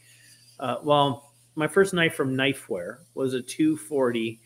Um, oh my god, it was a 240 Moritaka Ishime Kiritsuke. That was my first knife. Yeah and I kicked the crap out of it. We've got the. I'm just looking online. We've got the Haruki Shiso in stock right now, which is a pretty sweet knife. Mm, I really like that. one. yeah, that's Aogami Super. yeah, That's going to be a little closer to laser beam. yeah. Even the Masakage Yuki is relatively thin. Yeah, That's in Um, stock, um, shockingly. yeah. Um, a Mizu, if we had a Mizu, Yeah. that would be that's pretty budget oriented. Those Ooh, guys. You know, I really like the Fujimoto Kurochi Forge. Like I that Oh, yeah. 240. I don't know if we have the 240 in stock. We have the 210 for sure. That is quite a cheap and cheerful knife, and it's it's a it's a it's a full carbon. Yeah, the 240 is like 226 Canadian, so that leaves some room for a, a honing Oh, rod. hey, you can get some toys. You can get some toys with that. Yeah. Um, bum, bum, bum, bum. Ah, Michael. I'm going to get to that one in a second. Yeah, Corey says it seems to be a lot of Smiths from Tosa and Kumamoto still forge weld, albeit they are pretty rustic with Kurochi finishes. True. Uh, Nishida and Muneishi also come to mind. I know Shindo forges Warikomi as well. So Warikomi, just for like a little bit of a glossary step, Warikomi is not when you take three layers of steel. That's called sanmai. Warikomi is where you take mm. one piece of steel and split it open and put the hard steel in the middle like a hot dog. So that's what the Moritakas do. Cool. In case anyone cared, that was my opportunity to show that I am a nerd too. I'll be uh, honest, I have the worst memory in the world and I completely forgot what it meant. Yeah. Yeah. Well, here I'm going to become nerdier when MRK says if Fujiwara-san was a D&D character, what class would he be? Mm. Fujiwara. Okay. We're going to presume modern edition. Okay. okay. Fifth edition. That's what, you know, I don't want to fall into this like 3.5 bullshit. uh, Something, say, got to be one of the more eccentric classes. Yeah, but but very. You know I think he'd be like a type of rogue. With like okay, because he's a bit of a tri- he is a bit of a trickster. Yeah, he's a bit of a trickster, and I think yeah he's a rogue, and I think he's gonna be like like the rogue, like the mastermind rogue, mm. like the one who like is kind of designed around like knowing how and how hard to hit you. That's my vote. Fujiwara is a rogue. Okay. Yeah, or I think maybe what might have been expected is like one of those uh, an artificer. I think because like they like right. make stuff, but they like yeah, make yeah, like little robots and stuff. Yeah. Right? I don't think. Yeah, I put. I'm gonna put Fujiwara as a rogue. I like that. I don't think I have a better answer than that. Most most of my classes that I remember are, are old ones. So I, yeah. Uh, yeah. Well, let's go back to a steel question, and then we'll hop back on some of mine. Maybe All we right. can get through mine before dinner starts. Uh, what about super steels like ZDP 189, HAP 40? How do they compare to Aogami Super or SG2 R2 when it comes to performance? Is the extra sharpening effort worth it? Well, speaking from experience, because I, I, own a knife made out of HAP 40. Um, and you're right, there is extra sharpening effort involved. The nice thing, in my experience, I don't I don't find that I can, I get it a lot sharper than my Aogami Super or my SG2s, but it stays that way for a lot longer. Yeah. Yeah, I have a I have a Hap 40 Mugen that just like I've had it for since we started getting the Mugens, like seven, yeah. eight years. Eight years You ago. What, a 240 or something? Yeah, uh, 210. And, and I've sharpened it maybe twice. And like I don't use it every day, but I, I use it a fair yeah. bit. Uh, yeah, and it, I've sharpened it twice, I think, in eight yeah. years. Yeah, I have a 150 petty that's been sharpened. You know what? It's been tuned up a couple of times, like, you know, honing rod strops, that kind of thing. Maybe polish it 4,000, 8,000 kind of thing. But it's only had one actual like sharpening. Right. You know, and I made poor Sean do it. I said, "Hey, Sean, here's my here's my Mugen. I want it thinned out." so the the beauty of being a manager. Yeah, it's, it's training. Yeah, it's training. Here's a knife that's going to take you all day, even if you do it right. Um, let's get. Oh, here we go. Michael uh, I'll get to DJ in a second, Mike, because okay. Michael's got the both of these two have great questions to. Oh yeah. Not to downplay anyone else's questions, but these guys are like it's like they like got my notes or something ahead of time. Um, Michael has Chosera stones. Are they good enough for such hard steels? I prefer Chosera stones for really hard steels. Yeah, that's kind of what they're made for. Um, Uh, and Naoto can talk to this better than me. He understands the differences and the different types of ceramic and so on and so forth. I don't. There's I use these ones for really hard steels, and I use these ones for softer steels. Yeah. So uh, the Choseras would be my choice for those really hard steels. Um, and that's what I tell people. Like if you're sharpening like kind of, you know, blue carbon and up, it's worth considering getting Chosera stones because they're a little better equipped for the hard, hard steels. Given the choice, I would probably just use exclusively Chosera stones, except maybe for straight razors. Mm, If they're like, you can Yeah. spend as much money on your own sharpening gear as you want, I'd probably just pick all Chosera. yeah. Um, DJ says I've heard that diamond stones are the best for powdered steels, Naniwa diamond stones. That is, I've never really used a diamond stone that was higher grit than 220. I just, uh, I don't know. I don't see the point. Yeah, Well, I think bang for buck, like the Naniwa stuff, is what, what's right for me, Totally. or like Yeah. the nanny, like the Choseras. Yeah. Yeah. Um, but DJ was asking about woodworking and tools and stuff. Mhm. Um, woodworking Japanese tools like chisels and planes are very similar to knives and awesome. Are you planning to sell some from time to time? Um, we have had them in garage sales. Yeah. Um, we've had them in garage sales in the past. We had some chisel sets a few years ago. Um, you know, if you were looking for something in particular, there's no harm in reaching out and asking Yeah. if we can get it. Um, but yeah, garage sale is the place to kind of, unless if we're not otherwise prompted, garage sale is the move for sure. Yeah, we we tend not to add stuff to our full full permanent selection that we don't know enough about to be able to talk about. Like, you know, Yeah. like we we pretty pretty much everybody that works for Knifewear cooks to some extent. Um, very Yeah. few of us are into woodwork and really know much about it, um, and very few of us have the skills to sharpen that kind of stuff. We also really like to, you know, mostly sell things that we can sharpen and repair ourselves. Um, but I'd love to see that one day. And then Ernest has a question that I'm going to get to. All right. Where did I make it? Okay. How do I sharpen this thing? Can I use an electric sharpener? Don't unless you don't like the thing you're sharpening. Yeah. How often does it need sharpening? Well, that often depends on how much you use it, what it's made out of. Yeah. I find most I find most of our customers in the stores anyways are on like an every 8 to 12 months kind of cycle. Like come in like depends on the knife, you know, like I find like maybe to like Tojiro DPs, Mugis, they're like on a 6 to 8 month cycle. Mhm. And that's just kind of cuz what that does is like that keeps it tip top. Yeah. You know, like there's no we're not really lapsing in performance within that realm. Um, most customers, I say, are every eight to 12 months, Yeah. but it depends on how much you use it, right? Yeah. If you're a chef, you can throw those numbers out the window. like when I was cooking professionally, I sharpened my knives every week. Yeah. That's what I did on Sundays. and your standard of sharpness too. Like if you're Yeah. if you're a real nerd about sharpening or about, about sharpness, but you maybe don't sharpen your own knives, yeah, you're going to be in more often than my mom, who I haven't sharpened her knife for four years, and she's still happy with the edge it has. Yeah, I need to go sharpen my mom's knives. Last time I used them, they were no bueno.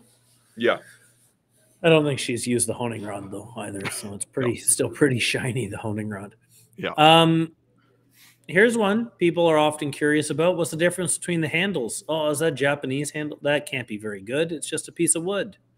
Right? Mm, yeah, The biggest difference between handles is gonna like when you play I don't have an I often I get I get mouthy about the teeter totter game.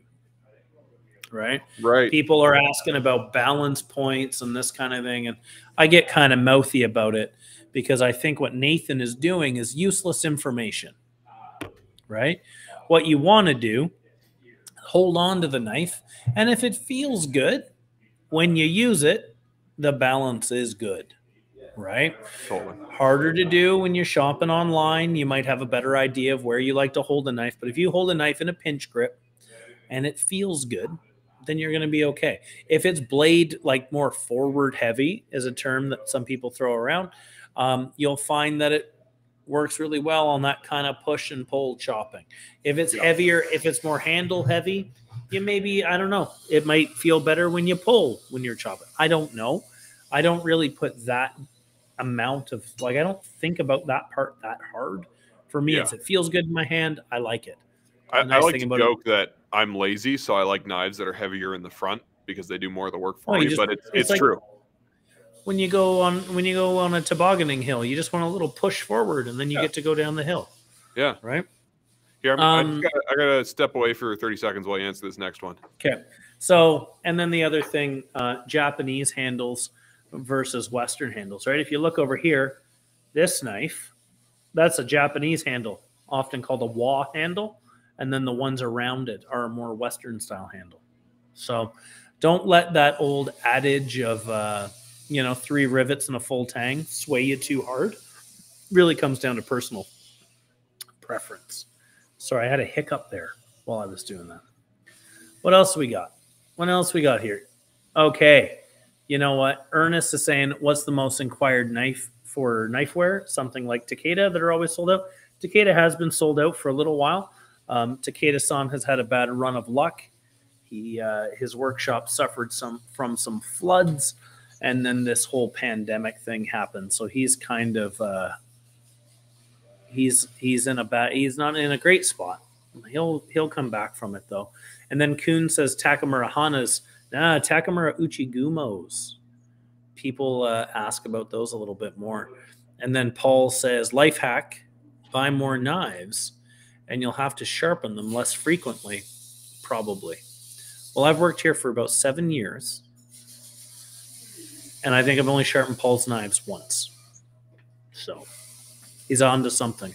And then John says, just joining now, so I'm not sure if this is answered before. Um, is it is it true I shouldn't mince with my gyuto? And is it safe to use a gyuto to cut meat? Scared of Hmm. hitting bones. Right. I do both of those things, right? I mince with my gyuto, like that. Just be careful, right? You don't want to be forcing it into the cutting board. You don't want to be working too hard. Letting the You don't want to be like doing this one where you're like really getting in there, putting all your weight. Yeah, you're not like you're not jacking up a car. You know, you're just like like take your time. You should be fine. And Yep. then yeah, if the meat's not frozen, be I'd be more careful with frozen meat than you know if you're scared of hitting bones. The best thing you can do is take your time and work gently. If you um, if you are taking your time and you come in contact with a bone, back off, kind of go in at a slightly different angle. Don't try to force your way through. That's when you'll chip stuff. Right? Yeah. I use We my actually gyuto to did- portion steaks and carb Yep. brisket sometimes, and no Yep. big deal. There, there's a sorry. Go ahead. You might be saying the same thing I was about to say. I was going to say we did a video of um, with Nathan. I did one where we were butchering chicken and such, and I Yeah. kind of show again, it'll come out eventually, but there's some good information on um, Yeah. um, how to get through a bone if you have to. Um, we've know. got a video with with Mike uh, that came out. He kind of does like our knife skills videos because he, he he was a chef for a lot of years, um, and he's really good at explaining things. Uh, that came out maybe two months ago, but it's on the channel. Check it out, uh, and it's just called "How to Use a Gyuto," and it covers that. It covers how to mince safely so that you're not messing up your knife, and he also carves a roasted it and, and talks about that. So that'll Nice. uh, probably help you a fair bit. Um, Michael saying off. I wonder if Kevin, if this is just Kevin. Why is there a Swiss flag behind you? So, the fella who owns Knifewear and who I normally do these videos with, his name is Kevin Kent, and there's a joke that he really likes about Switzerland, and it's. Is it a joke or is it is it just something he keeps repeating? I'm sure at one point it was funny. Like I might have smiled the first time. No, it's just so. Kevin tells this joke all the time, and so a very lovely man named the Voog purchased this flag for me.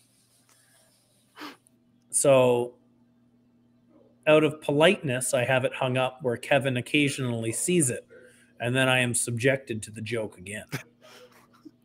Normally, So you that just walk is- it with your head. during the whole show. Yeah. Yeah.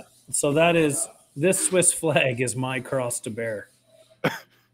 you know? It's what it's it's the main topic with your therapist, really. Yeah. DJ, how many knives are in your collections? Where's your sweet spot number wise? Mine's around 10. How many knives you got, Nathan? Kitchen knives, probably about 10. Um, I once I started working at Kent of Inglewood years ago, I kind of slowed down on the kitchen knife collecting, which is probably Yeah. a good time for me to stop. Um, hunting knives, outdoor knives, other big uh, big knives, small knives, uh, probably bumps that number up to 20, 25. Hmm. The last time I counted, I had 43 Japanese kitchen knives. I'm not surprised. Yeah. I got And I'm on in- my but- list. I'm a, I'm including all kinds of stuff. Like I got Max in there. There's some globals in there.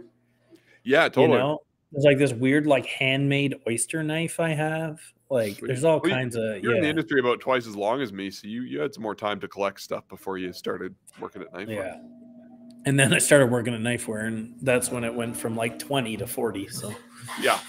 um, Don't get a job at Charmin- Knifewear if you're trying to buy fewer knives. Terminator, any news on Masashi's new lines? So I got a little bit of a Hmm. sneak peek when we did Sharp Knives Rock last week.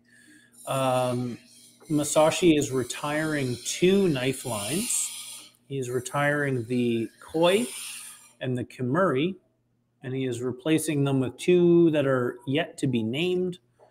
Um, there is a Kurochi, a, a polished up Kurochi. I think the spine is all nicely polished. I think that one's supposed to be made out of SLD. And then I can't even remember what the other one looks like. Oh, thank God for Nathan. I was working on it. It took me a minute. Yeah, Yeah, these are the two of them. yeah. I'm pretty sure this one's SLD and the other one is VS1.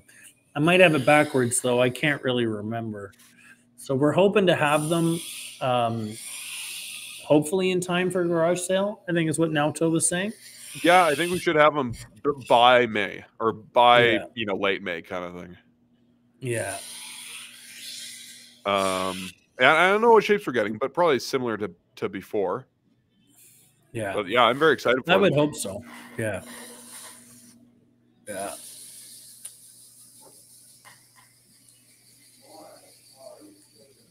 Um. Oh, here's some. You know what? We got a joke about the Swiss flag being a big plus. Yeah, I was, I was avoiding saying that. Um. Ernest says, "I see some Japanese knife makers use Swedish stainless steel. What's that about?" right. Um, you know what? Then I have one. I have a Konosuke knife, and it's made out of AEBL, which is a Yeah. Swedish stainless. And I think they like to use that in the event of what's called a like a mono steel knife. Yeah. You know, it doesn't have three layers. It doesn't have cladding. It's just kind of a heat treated piece of metal with um, uh, sharpened up and whatnot. I don't know why. Like, it's not that common. You know, it's really only the Konosuke that comes to mind right away. Uh, I think some of like the Ninox knives are made out of that, I- but I, I wouldn't quote me. I obviously I know more about what we sell than what we don't. So, um, you know what? It makes a good knife. I'm happy with the one I have. Yeah. But yeah, it's usually it's not a uh, it's not as hard of a steel because it doesn't Yeah. have that cladding on it. Well, and at the end of the day, the Swedes make it. really great steel, um, Yeah. and blacksmiths like trying different stuff out and experimenting, and and uh, each blacksmith has their own preferences to what they like to forge and work with. And so, for some of them, it just happens to be Swedish steel. Uh, Iwasaki-san, who makes our kamisoris, uses started using Swedish steel a while back in those Mm. because he really likes it. That's what I have. That's what I shaved with two Fridays ago. Nice. I haven't Yeah. used mine for a while. Yeah. Um, we skip ahead a little bit. Um, you know, DJ is arguing with Don Penny because Don Penny is of the N plus one mindset. Right. Um, always need one more knife. yeah. See, the thing I feel though, DJ is saying like, and you know what? Not wrong. You know, at one point, at one point, the next one will make one from your collection redundant. Knives in the same price range are quite similar. True. Yeah, Um, but sometimes they make you feel better. Right. totally. I am not the kind of person who's going to sit here like I don't have a, like I don't know. Maybe you are a knife spreadsheet kind of person, but I Mhm. definitely buy knives with my guts more than I do my brain. Well, a, a, a Moritaka Gyuto compared to a, a Kurosaki Gyuto compared to a, a, a Masashi Gyuto, you've got three totally different knives, and while they're all Yeah. technically the same shape and size, everything else about them Yeah. is super different. Um, I Yeah. have three two tens, um, and there's a That's lot of true, other I shapes saw I don't have yet, but Yeah. they're well. It's, one of them's different steel. They've all got pretty different handles, and so I kind of Yeah. just switch back and forth between what I feel like using Yeah. that day for fun. I think if you're talking about redundancy, there's probably about 12 or 14 knife shapes you could get before you start running into redundancy, you know, including a couple of butchering knives and a, a big cleaver and maybe a Chinese cleaver and bread knife. But hmm. Yeah. I, Yeah. I think the average home cook could probably get by with five really great knives for the rest of their life. But Yeah. you know, just depends on what kind of a knife person you are. Because there's always a, a Yeah. maker that comes along. Like I thought I was good, and then we started getting those Hato Sakai knives in, and then Yagara, and Yeah. now I've got a big list Yeah. again. Me too. Me too. I want a knife from Manaka. Yeah, yeah, me too. That's my. I try to sell them quickly so I don't have to look at them long. Manaka Bunka, it's on my list. Yeah. Um, Kuhn is asking if they're going to be priced similarly to the Koi and Kamuri. I would assume so. They look like they're more in line with a Koi and Kamuri than they are a Kuroshu and Shiroshu. Yeah, Yes, though. Yeah, they they're kind of between the two. Like they're going to be more than the Koi and Kamuri. Um, uh, Masashi's son was was uh, working working very hard to the point where he didn't have any time off. It was basically just working all the time, and so Yeah. he, he's trying to like have a little more of a work life balance, and uh, as well as just put even more work into his knives. He puts a ton of work into them already, uh, and Yeah. so the price is going to go up uh, a bit for sure from where the coin and Kamuri were. Um, DJ is saying that Ashi Hamono is famous for making mono steel knives. They do the HD2 line for Konosuke and have Hmm. lines for Hitohira as well. And then Ernest says, I wish knife would carry Konosuke and Hitohira Takeda no Hamono as well. Paul says, I buy based on how it feels, then I track it in a spreadsheet. That's true. Paul does do that. And then Mhm. E30 Birdie could get away with a Gyuto, but didn't choose that life. They belong to the N plus one club. Yeah, Happens same here. happens. Um, let's hit up some more of my questions real quick. Sure. We're doing pretty good today. There's been a lot of great conversation, Yeah, thanks guys. and like we've been talking about knives the whole time. We haven't Yeah. been like. There's been very little dicking around. We're, we're we got halfway through the questions. We're doing good. Um, bum, bum, bum, bum, bum. Um, do you have knife sets? I Mhm. get that one a lot. Uh, you know what? Yes, we can we put a do. set together for you for sure. Yeah. You know, there's like the opportunity on it. For the longest time, it wasn't as easily available. But yeah, you could buy a knife set online. Um, we can put one together for you in the store too. A set Yeah. to me is just what collection of knives are you going to use? Yeah, I think a lot of people leave the house, like Nathan kind of hinted at, like the hundred and fifty dollar knife block earlier. yeah. Not as Well, we've fun, we've been it? told that's what a knife set is, and that's those are all the Yeah. knives you need. Is all of the ones that come in the block. But yeah, I don't necessarily agree. yeah. You know, I did a video on that often. recently. It's not often you walk into a clothing store and point at a mannequin and be like, "I want that one, please." Oh, that's a good analogy. I like that. Yeah. You know. So, unless you're me, I do that sometimes, but you know, I go clothes. You just go to the mechanic shop and say, "I'll take what he's wearing." Yeah, yeah. If I could get away with wearing like coveralls, We were I having this probably would. discussion in the warehouse today. You know, I feel like you get away with that, at, at, especially if you're just standing at the sharpening station wearing coveralls. yeah, Yeah. Going to my Operation Come Home meetings and coveralls. Um, hey Nathan, can these knives go in the dishwasher? I, yes, technically, They'll fit. you can put them in. You might not like what comes out though, right? Yeah, Like yeah, they might get real know rusty. dishwashers are bad for stuff you give a shit about. Yeah. All right. Good for things you don't care about. Yeah. You know what? The chemicals are harsher than regular dish soap and water. The heat is up and down. hmm Stuff rattles around. It's not a good. It's not the best choice. And if you got a But a lot of people ask that. if you got a knife handle made with some of this stuff, wood, Yeah. it gets Oh, really doesn't like unhappy if it spends a lot of Oh. time in water and heat and detergent. Really stuff. doesn't like it. It, it doesn't take long for it starts to start looking bad. Hey, number three was can I cut a squash with this? Absolutely. Absolutely, you can.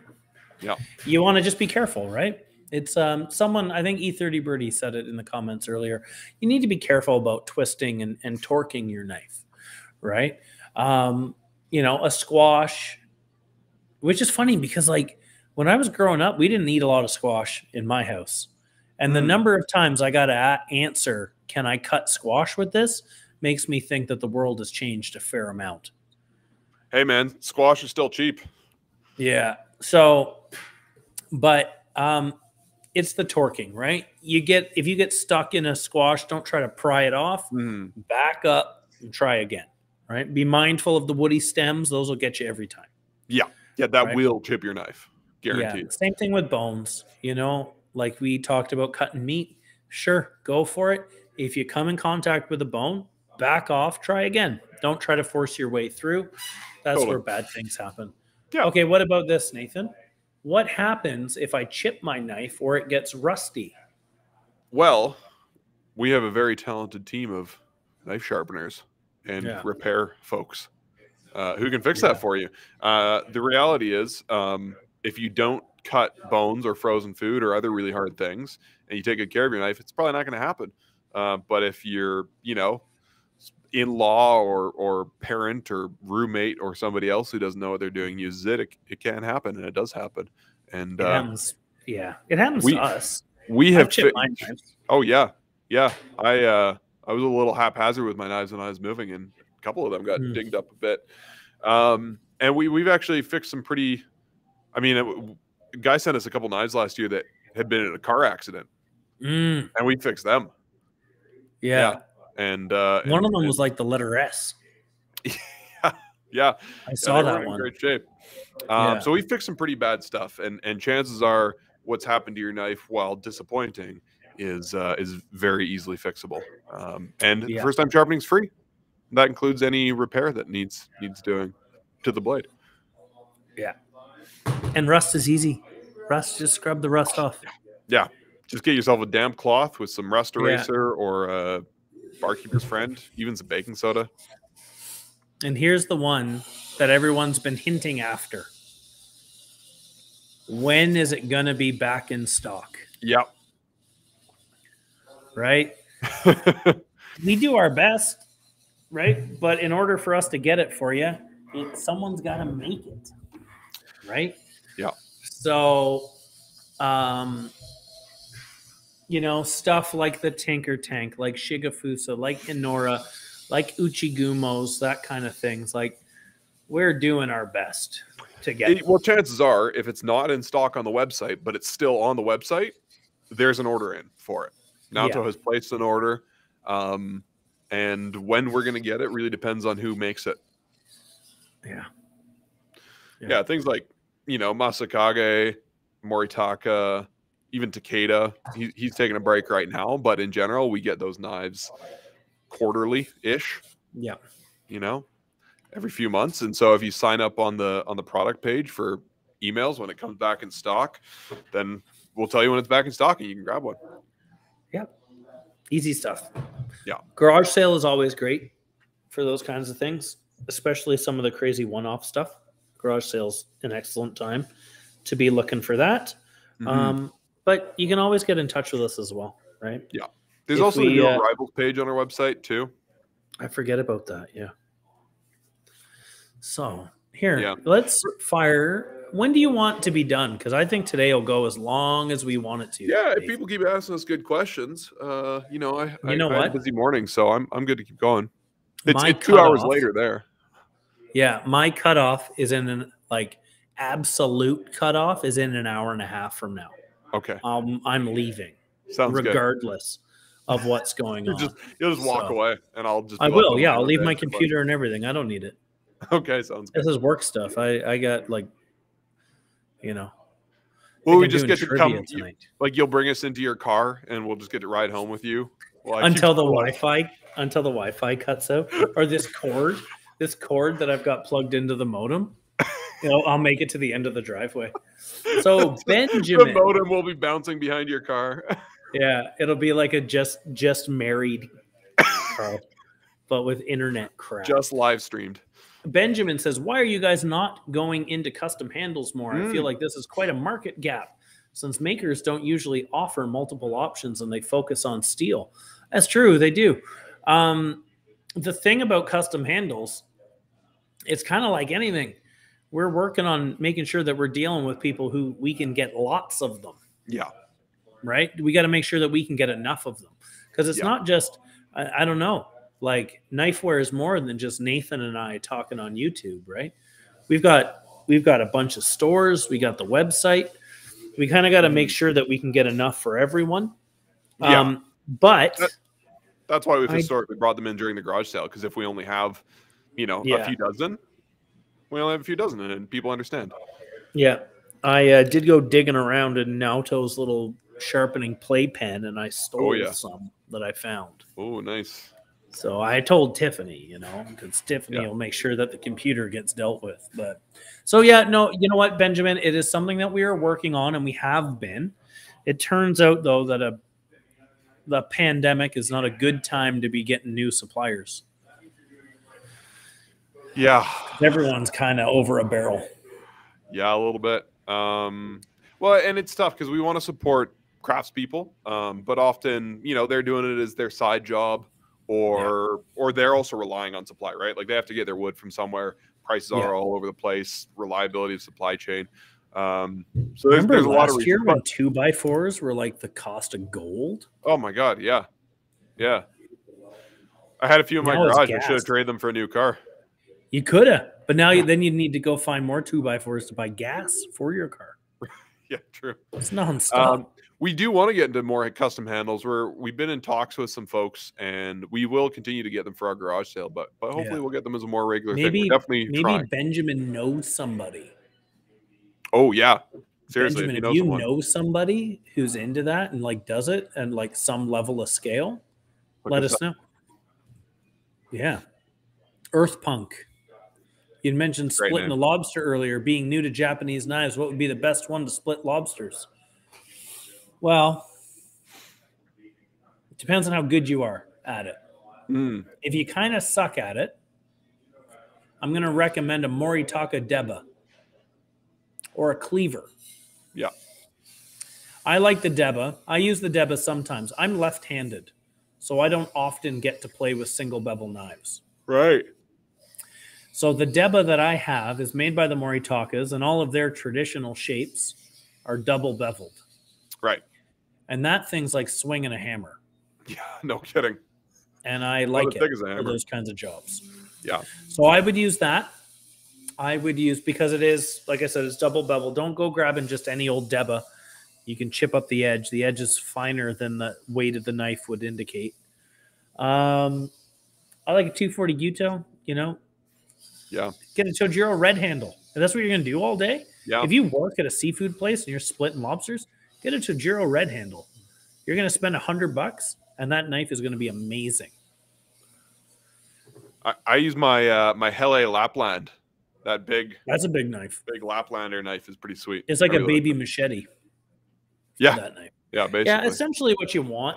You know what? Instead of like, I'm gonna stick with my Moritaka Deba as the best one to do it.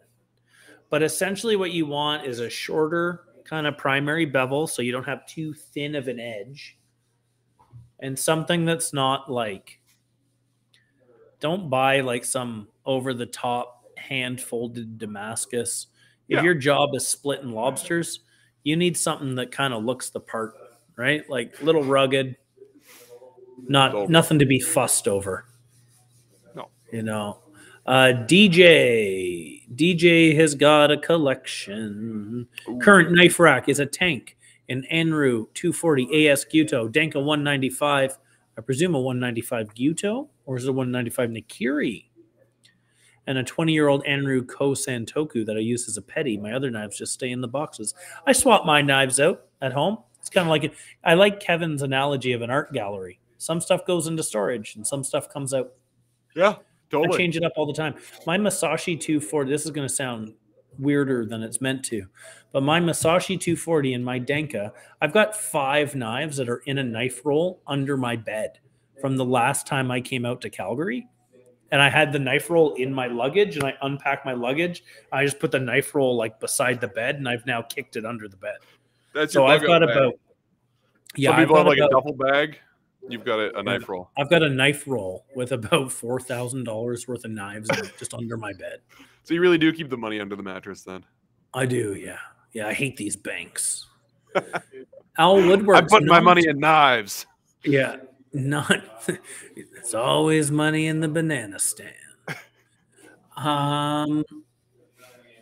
Do do do. Not a 101 question, so feel free to skip it. I'll Hmm. answer all of them. There's no Yeah. such thing as a 101 question. If I don't give you an answer, it's because I don't know it. Uh, for the collector degenerates, woo, are there any really special knives that Knifewear gets in, like the kaiju? Like Godzilla's a kaiju, right? Is that what we're talking about? Or do you think he Uh, means like the Kujira? I don't know. Now I'm like, did we have a knife called kaiju? I- God, my memory is just. Oh no, no. There's like a.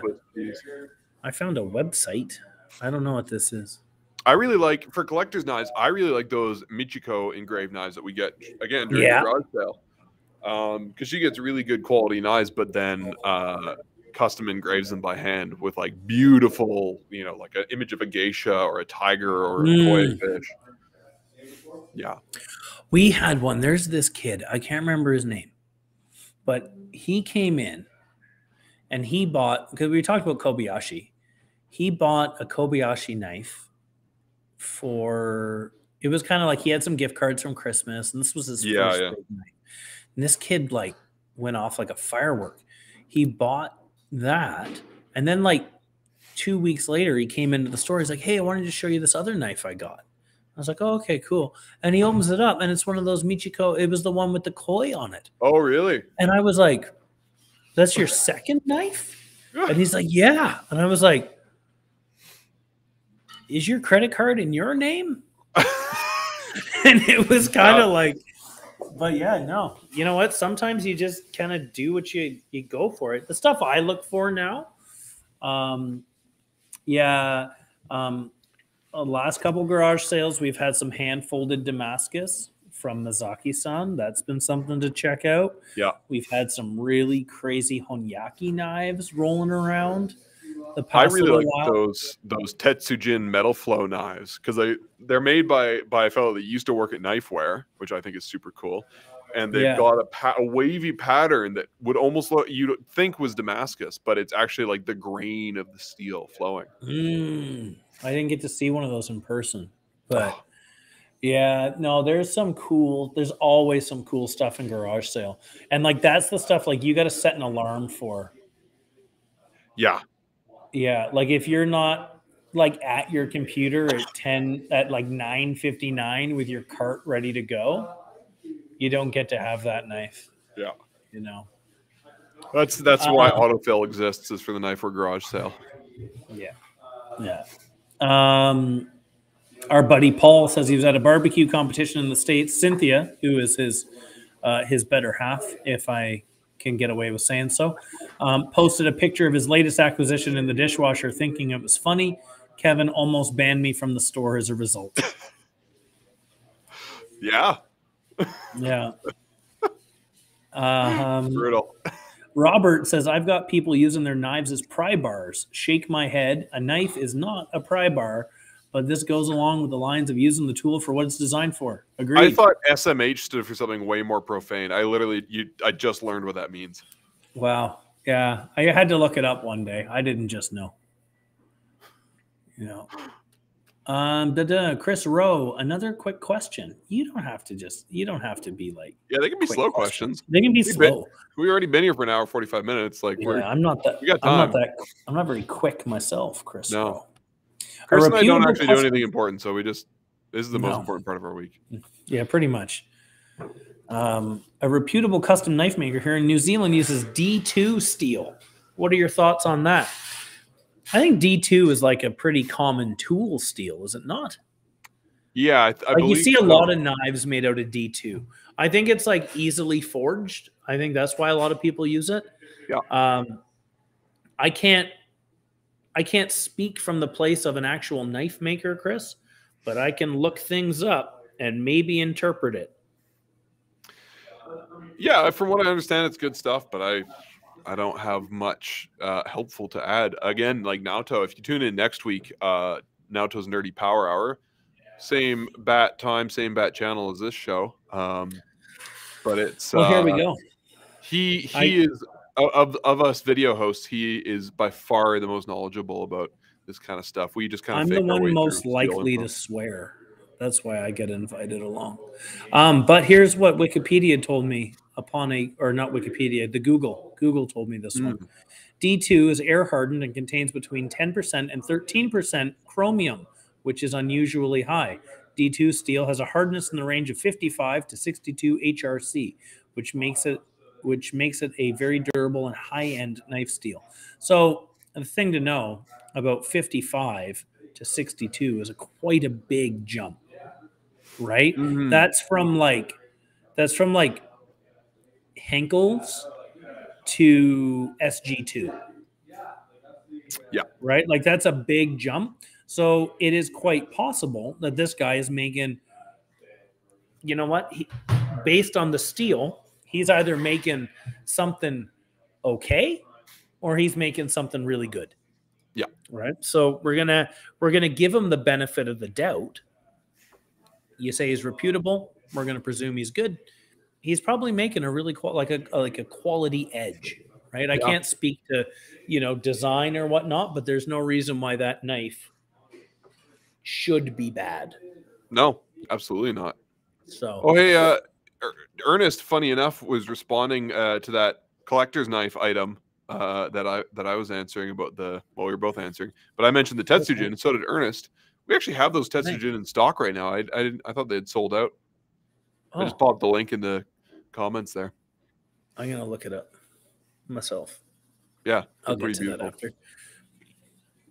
So Robert is saying D2 is great so long as it's heat treated properly. Okay. Do- do- Otherwise, you just end up with a knife shaped object. Uh, E30 Birdie has got one of the metal flows on the way. Hard to find in Europe. Corey says, just want to say thank you guys for doing these videos. There's not another knife shop out there that does these kind of things. You know what, Corey? like, There's like lot, like knowledge. yeah, yeah, and we do all kinds of weird stuff. I bet you there's no other knife shops that have line cook Olympics and then spend a day with a puppet. Nobody is brave enough to act alert. as stupid as we do on live Yeah. camera. That's that. You know what? I think that's what it is. It's a mixture of bravery and stupidity. Yeah, we just got nothing to lose. Really? Yeah, no.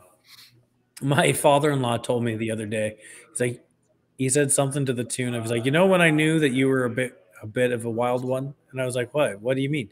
He's like, "It's when you decided that you were going to shave with a straight razor on the news." We've, we've both done that. we both done that. I didn't. I either forgot or didn't know that you had done that. Yeah, yeah, yeah. When- no, we when, both. when did you when did you shave on the news? oh, maybe 2018, Because my first 2018, time 2019. You know, when I shaved on the news, it was it was awesome. It was really fun. Um, you got the you got the anchor to do it too, didn't you? so that that was afterwards. So the first time, uh, I had never shaved in front of another person with a straight razor before. I had been using one at home for a little while, Yeah. but I, you know, I, I just brought like a little mirror and stuff. So I was like trying to look in the camera and you know, uh, uh, present while looking at this like tiny little circle mirror that was down on the table. Yeah. And it was uh I got it done pretty quick. I was pretty impressed with myself, but it was uh, it was quite the adventure. Teaching classes was no big deal after that. And then yeah, the other time Yeah. was at the end of November, and I taught the host how to shave off his mustache with a straight razor. And he Mm. That's he why I have a bit, but he did mustache. Pretty good. That's why I have a mustache, because I started using a straight razor. Yeah, yeah, I know. They're that's the hardest area to shave. Yeah. Um, Benjamin says, thanks. E30 Birdie says, I'm hoping that 2022 brings the Knifewear podcast so I have Hmm. something to listen to on my commute in the morning. You know what? There's been, I'm not making promises, but it's a conversation that comes up. I think we We've just need to about it for a know that more than just you would, Yeah. uh, would listen and to we got to know you gotta you, you gotta help us figure out what we're going to talk about obviously we'll talk about Yeah. knives but other stuff too right because uh uh I, I don't love those podcasts where it's just the hosts talking about stuff like you know once it's fun to throw some conversation in there but but i think we need some good topics as opposed to just Yeah. bullshitting and kevin telling dad jokes so we'll we'll need to come up with of- content Speaking of, Giorgio wants to know why is there a Swiss flag in the back? Greetings from Switzerland. And do you work with someone in Switzerland? Okay, so Giorgio, the reason why the flag is here is that Kevin, I think I even deleted it out of the captions today. I oh meant thank to. god i've meant to a million times I meant to, but he keeps putting it back. That's the Oh, it's, problem. it's there Yeah, again here it is. Here it is. It's like okay. that haunted doll that keeps appearing after you throw Oh it yeah. away. So Giorgio Kevin, who you may or may not know, is the owner of Knifewear and often my counterpart when we do these videos. He says, "Hey Chris, do you know much about Switzerland?" And then I say, and he says, "I don't know much about Switzerland, but I hear their flag is a big plus." And he got on this kick where he did this several times a day several times a week. And a fella named the Voog, is a buddy of mine, bought me this flag to put up. And I do it out of politeness for Chris, knowing that it often makes me have to listen to the joke. but Switzerland, I, I've never been. I had, when I was in culinary school, I had some instructors who were from Switzerland. They were very smart. I learned a lot from them. That's all I've really got. I don't know if we, uh, if you're, if you want to, you know, I don't know that Knifewear Switzerland is in the works, but we got to work. I've We got to get into Toronto first. I've heard crazier stories. Yeah, Robert, uh, back to our handle conversation. I know some people that deal in wood, but not just the handles. Ben Ben says something Josh or something. Maybe he's got a friend named Josh who does handles. Do it do. And then we're talking. Corey pipes in with most shapes from Tosa and Kumamoto are double bevel, even things like their Deba and Yanagi, so lefties don't feel left out. Yeah, that's where uh, the Moritakas are from. Uh, Yatsushiro, which is in the Kumamoto area. Uh, Um, bum, bum, bum. Oh, the Voog says you too. Oh, he's been watching. He knows I'm talking about him. always watching, making sure you got that flag on your wall. Yeah, I wouldn't dare take it down. He bought me a T-shirt too that's got Oh, like nice. Statler and Waldorf on it from the Muppets. Because Alex and I were chirping each other one day, I think, and he bought one for each of us. That's awesome. Um, the Dank has a 195 Gyuto with red pack handle, bought directly from the man himself in Tokyo. So the thing about okay, so you were in Fujiwara's little shop. Um, if you go through that door in the back door, you're in his house, and I sta I stayed with them for a night. It was oh, cool. it was crazy. It was a good time. He's got a dog too. The dog doesn't like Kevin. It's kind of funny. It just barked at him the whole time. That's really funny. If you see Rio Deba, it means double bevel. For those wondering, by the way, that's interesting. thanks, Jordan. Sometimes we see, um, sometimes we see Yo Deba, but that might refer to the fact that it has a Western handle. But sometimes you see it where it's like a double bevel knife. So Ryu Deba, that's handy to know. Oh, Konosuke Kaiju. Right. I knew I had heard about those. Okay, I'm looking at one right now. Yeah, That's quite a nice knife. Yeah. I'm gonna look it up. You're skipping ahead. Well, you know, I, I want to be prepared. I want Oh to my look at it that- too. Yeah, it's it's a cool looking knife. Um, I yeah, honestly, like a collector's collector's knife for me is is that Tetsujin Metal Flow. Um, If you are looking for something that's kind of like this kaiju that's got just like really beautifully uh, beveled and just like you know, not crazy flashy like any fancy Damascus, but just like a really, really reliable, high performing knife. Mhm. Uh, those Yoshikazu Tanaka ones we get from Sakai Kikumori. That's a collaboration. We Mm. got to pick who we wanted to forge the knife, who we wanted to sharpen it, the steel, all that. Um, but it is on that level of like just really perfect, just Yeah. like incredible beveling, really consistently sharpened. You know what? If you're into knives that are in that kind of price point and that kind of level, you should look at knives from uh, Itsuo Doi. Mm, yeah, He- totally. Like that, like Kengata Gyuto. Yeah. That's a knife that like looks the business, but is Yeah. meant to be used too. Right. Okay, interesting. So DJ Sergiotto, speaking of Yoshikazu Tanaka, the kaiju is also forged by him. Because I looked at that knife I was like, oh, that reminds me of the the Yoshikazu Tanaka that we get, but we get ours sharpened by um somebody. Where where is it? Ajioka-san? Because we we Naoto was uh, in Sakai and he they they laid out a whole bunch of knives that were forged by Tanaka-san and sharpened by a bunch of different guys, and Naoto really loved the one forged uh, sharpened by Ajioka-san. Um, Mm. You want to learn more about that, tune in next week for the Naoto's Nerdy Power Hour because we're we're talking about what makes a master knife sharpener. But um, but yeah, that's same sort of idea. That was just our preferred knife. Yeah. Yeah, and if Yeah. they're uh so if this knife oh okay, so then he goes on to say uh polished by Ivan the sharpener on JNATs. JNATs means natural stones, Japanese natural Right. stones for anyone Right. who's following along at home. Um that makes sense because when I looked up that knife and they were available at Tosho Knife Arts or they had them on their Mm. website, um, Ivan is the brother of the owner of Tosho Knife Arts. Okay, Or gotcha. there's some sort of relationship there. They might not be brother. I don't know if they're there, but Right. they he used to work there or something. I in my head that he's their brother, but I don't know. Uh, Knifewear can't sell them because Konosuke works exclusively with seven retailers around the world. It's true. That's all true. Mm. Um, we used to have Konosuke knives. Yeah, Um, that's generally called banding in the steel. The temp causes separation. Oh, we're talking about the patterning from the uh, Yeah. other Tanaka knives. Bum, bum, bum, bum, bum, bum. Robert's good here. Um, Robert was asking, "What? Uh, where do you like your knives hardness to fall? What? Uh, what RC hardness do you feel is acceptable on the Rockwell scale?" Kind of like uh, most of my knives are in that 61, 62 zone. Mm, I don't worry I about like- them too much. I got Yeah. some that are harder. I just don't use them that much.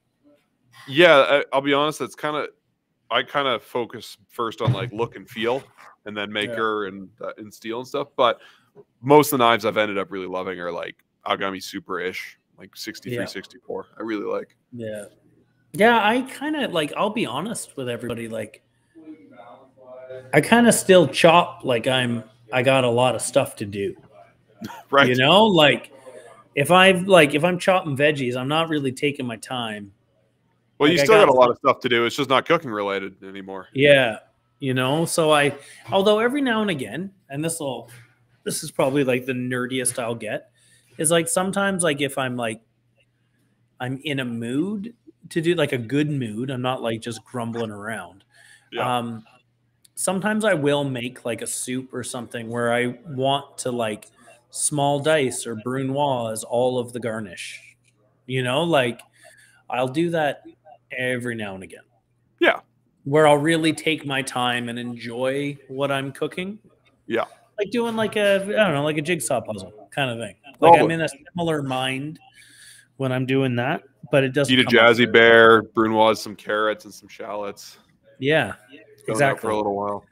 you know, Yeah. laugh, laugh at the meatballs in the bowl.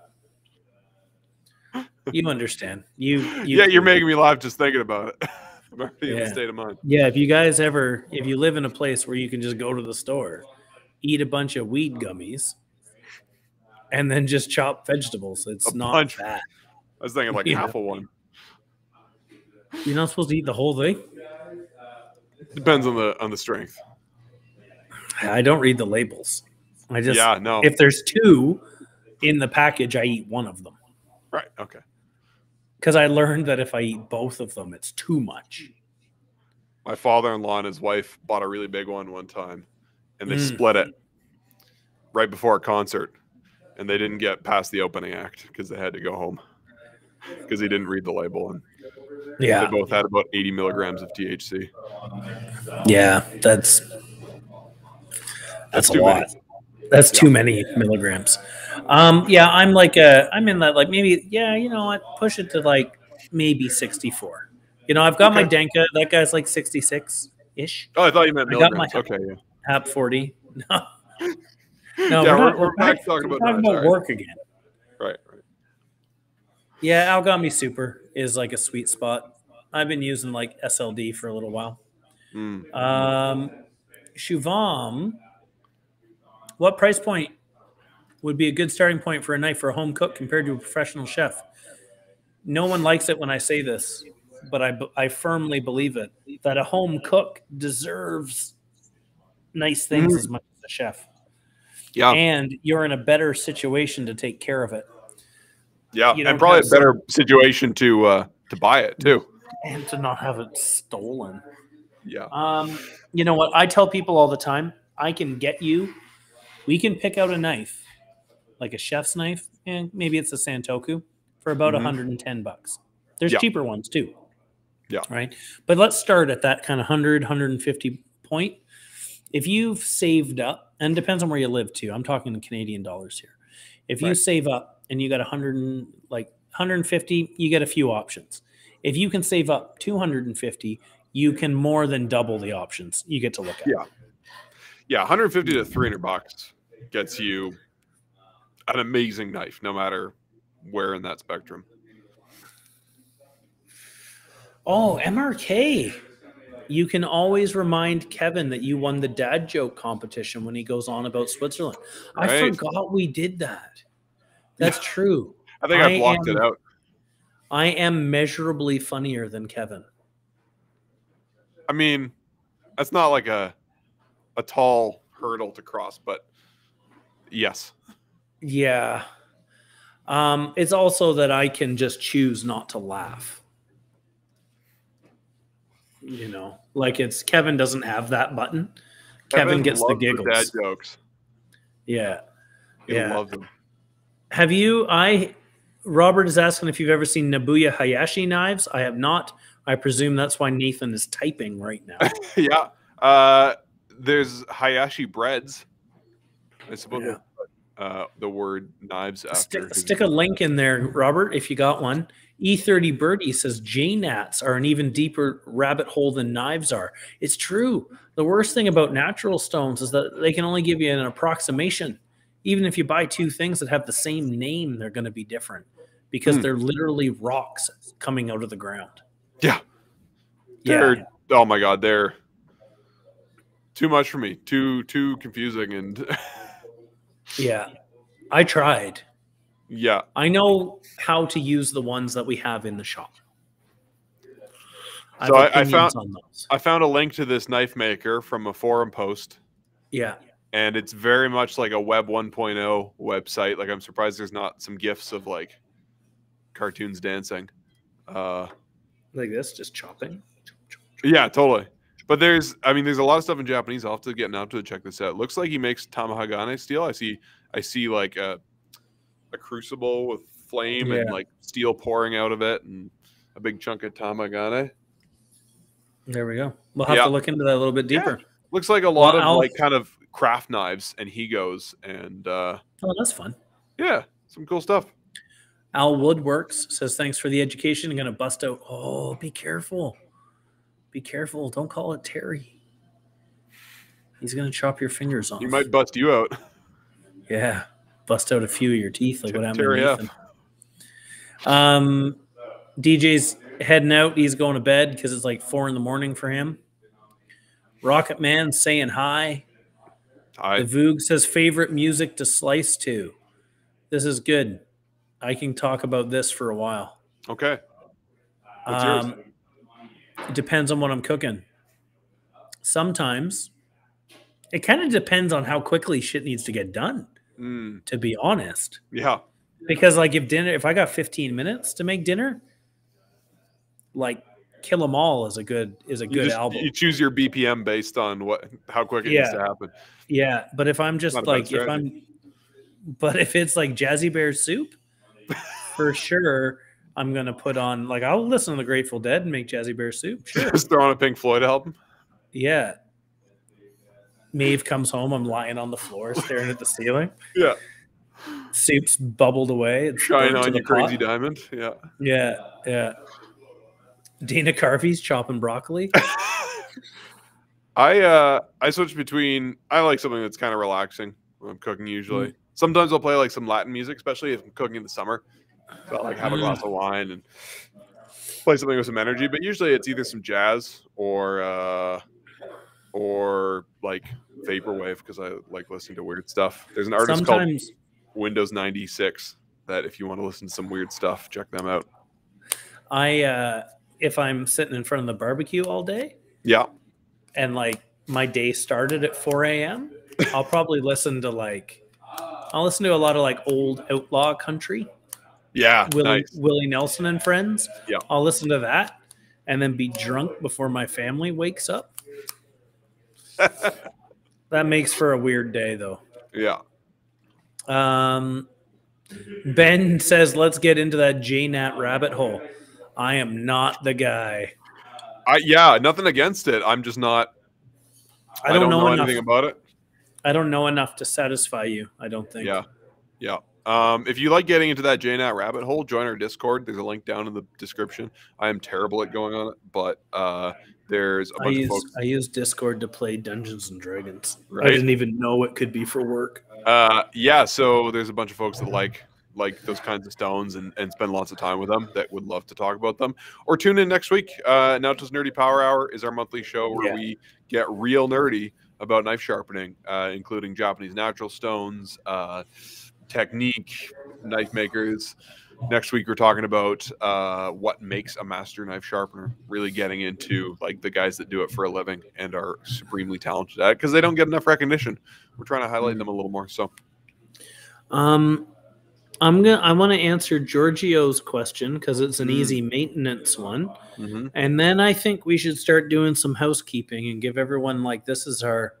It's getting close. cool. We've been at Start- this for two hours and ten minutes. Start playing the Oscars music.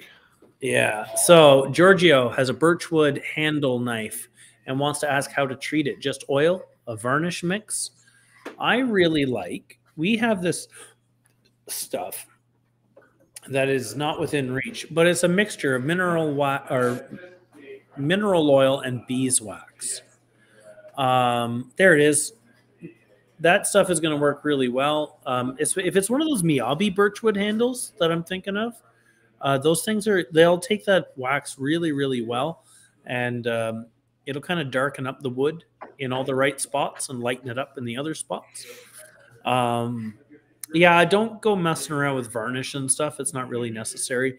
If you don't have any of that handy i know you said that you're in switzerland um, mineral oil like um, i just buy to be honest. Like i'll buy the mineral oil from like the pharmacy like the Yeah. drugstore Go to the laxative section. yeah. Apparently people drink it and it helps you poop. I don't know. I've never done it. But that'll work well on your knives too. You want to avoid um, like oil, like cooking oils because they tend to get gummy and they um, Yeah, they're gonna get smell nasty after a while. yeah, and they get kind of rancid. So yeah, Giorgio, if you're uh, if you're planning on ordering something from Knifewear, just make sure you can get a tin of that uh, tucked onto your order. Yeah. Um, Mike H. For knife steels, do you have preferred type of steel to the knife shape? I don't think that I do. Um, I I kind of link the knife. I think I link the steel more to how often I'm going to use the knife and what I'm going to use the knife for, Yeah. right? Because like I do have a knife that when I was a cook, I really only used it for slicing chives. Totally. You Yeah, know? yeah. Like I might prefer a stainless petty because I use a I don't use a petty knife a lot of the time, but I use it when I'm cooking breakfast and I'm probably not going to wash it right away. Uh, or like if I get getting a Sujihiki, I'd probably get car- some kind of carbon steel because I want you Oh, know I want a sharper or longer longer edge retention kind of situation. Yeah. Um, uh, Philip was saying uh, about this knife maker, the Nobuya Yeah. Hayashi. Apparently, he has one of one of one of uh, his knives. Oh, And yeah? makes own tamagane, which is this stuff. We got this chunk from the Moritakas. They gave us Oh, a couple cool. of pieces when we were there, and now it just lives on our YouTube set. But uh, yeah, it's pretty pretty neat stuff. They they take this like iron rich sand and then pack it with charcoal and burn it and burn out all the iron and then collect this like liquid mass of stuff and hammer all the impurities out. And then eventually they make a knife or a sword out of it. Badass. Yeah. Oh yeah, that's my knife over there. There's Oh. one behind me. The 360 Moritaka. Yeah. I uh, I sold a, a fellow one on Sunday. Went to a brisket smoking class in Calgary. If anybody wants to learn how to smoke a brisket and you live in Calgary, um, Prairie Dog Brewing is doing this class in collaboration with our buddy Neil Zeller, who's on a recent Hmm. episode of Sharp Knives Rock, and us. And you get a Tojiro DP Sujihiki with the class, but you can also upgrade. One guy upgraded to a, a 360 because that's the brisket knife, right? It's the right one. That's the one you do. Yeah.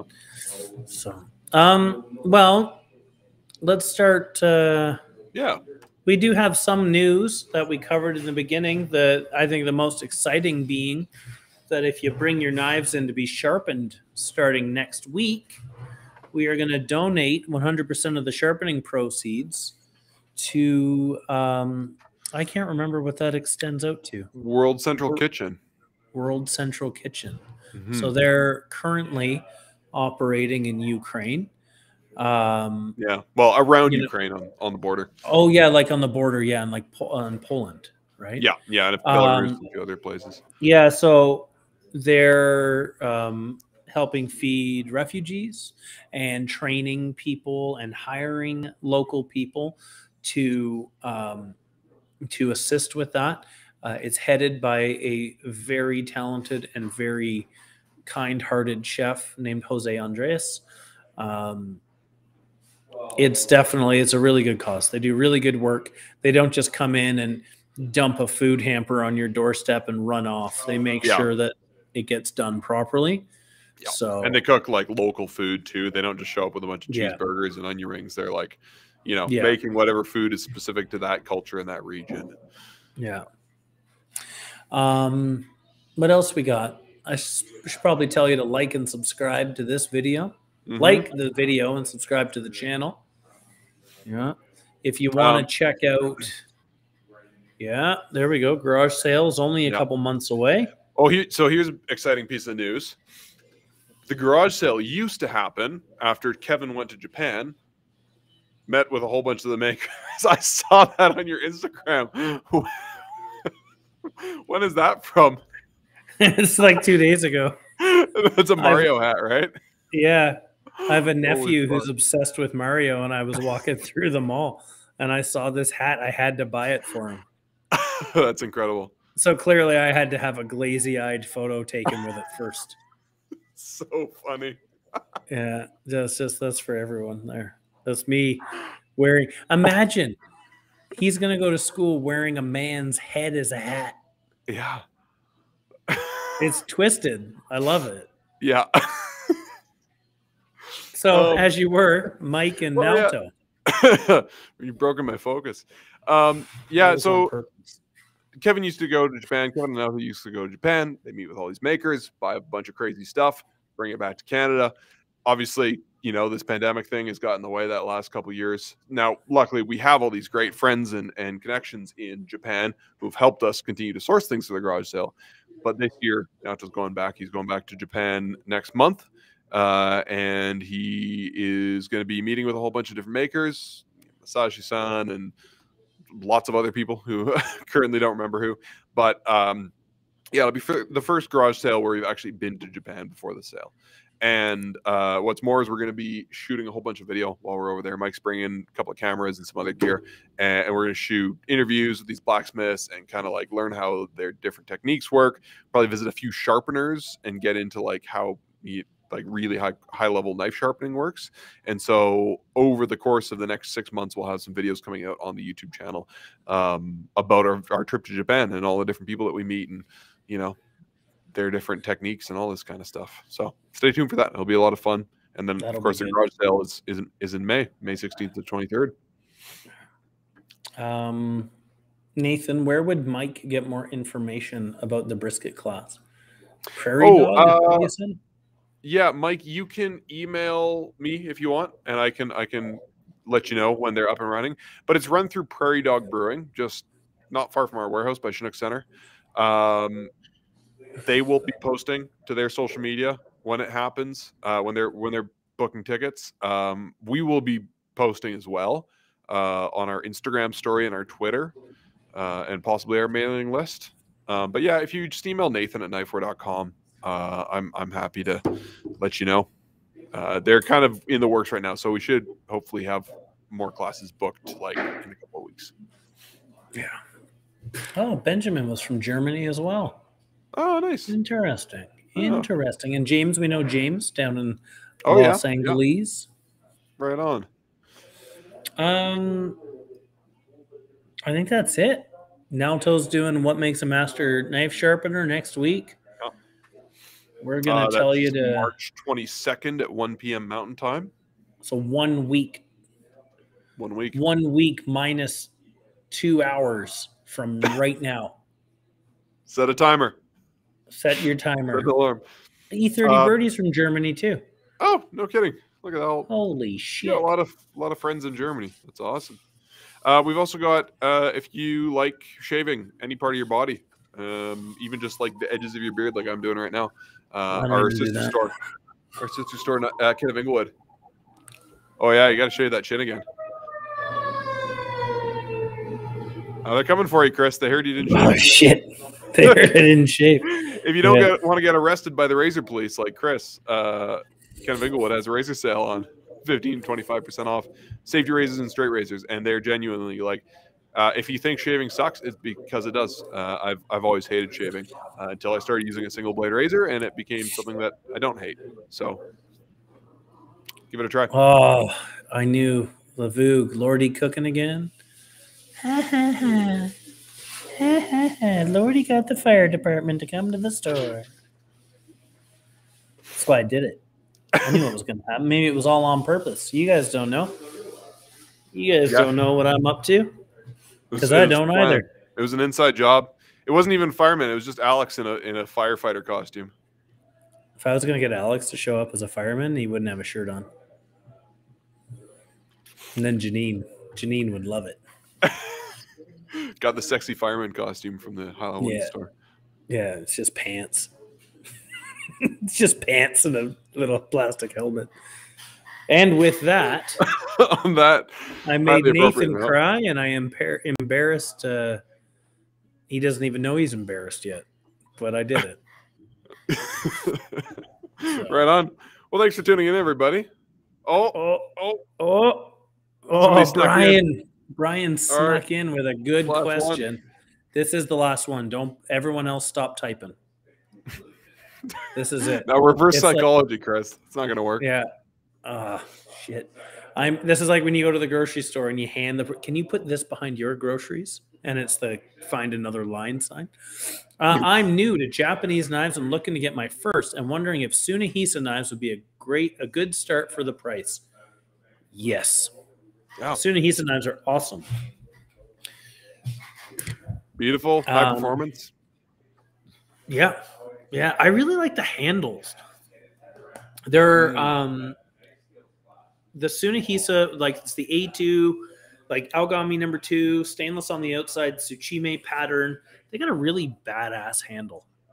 I don't know what it is about them. Like the bolster has kind of got like this little slash, yeah. like diagonal thing going on. Like the wall. handles are kind of carved out. Yeah, yeah, yeah. they're really cool. They're yeah, they're nice. yeah, they're badass. One of the reasons I'm not crazy about uh, like Western style handles is a lot of them are too chunky. Like I got big hands, but I don't like chunky handles, and that's why I like the zero so much, and that's why I like those Sunahisas. They're like nicely Yeah. angled off and Yeah. ergonomic. Yeah, they were paying paying attention when they finished them. That was a good last question. Yeah. Thanks, everybody. Hope you have a, a good rest of your week. Hmm. You too, Nathan. You have a good rest of your week. I, I will. Uh, oh, uh, real quick. If, if Oh, I already saluted. I know, I know, lots of you have already commented and watched it, but uh, Naoto's got a new video on the channel that came out uh, yesterday morning, Yeah. uh, and it's all about knife finishes. How to get uh, like a really plain, simple, easy finish on your knife. Uh, how to get a Kasumi finish and how to get a mirror polish. Um, and it's Oh, specifically sweet. about sharpening the bevel of your knife. So for Japanese knives, Mm. but taking it from looking real rough and you know upgrading it a little bit, but making it a little bit nicer. So And if you want to see me get robbed in yet another competition, you can go back to the last Sharp Knives Rock. it's true. So, Last week's episode, true. it's quite good. Yep, it was. Yep. I had more points than Naoto did at the end. Except for the uh, judging. So it's always the judging, you know? I think we got to start outsourcing the judging, to be honest. Yeah, you gotta stop asking me to deal with numbers and times and stuff. Yeah, we got to get someone who at least pays attention. Yeah. Uh, well, thanks All for watching Naoto's video, E30 Birdie. Yeah. And thank you all for watching this video. We'll see Yeah. you next time. There's a bunch of you today. It's fun. Yeah. All right. All right. Take it easy.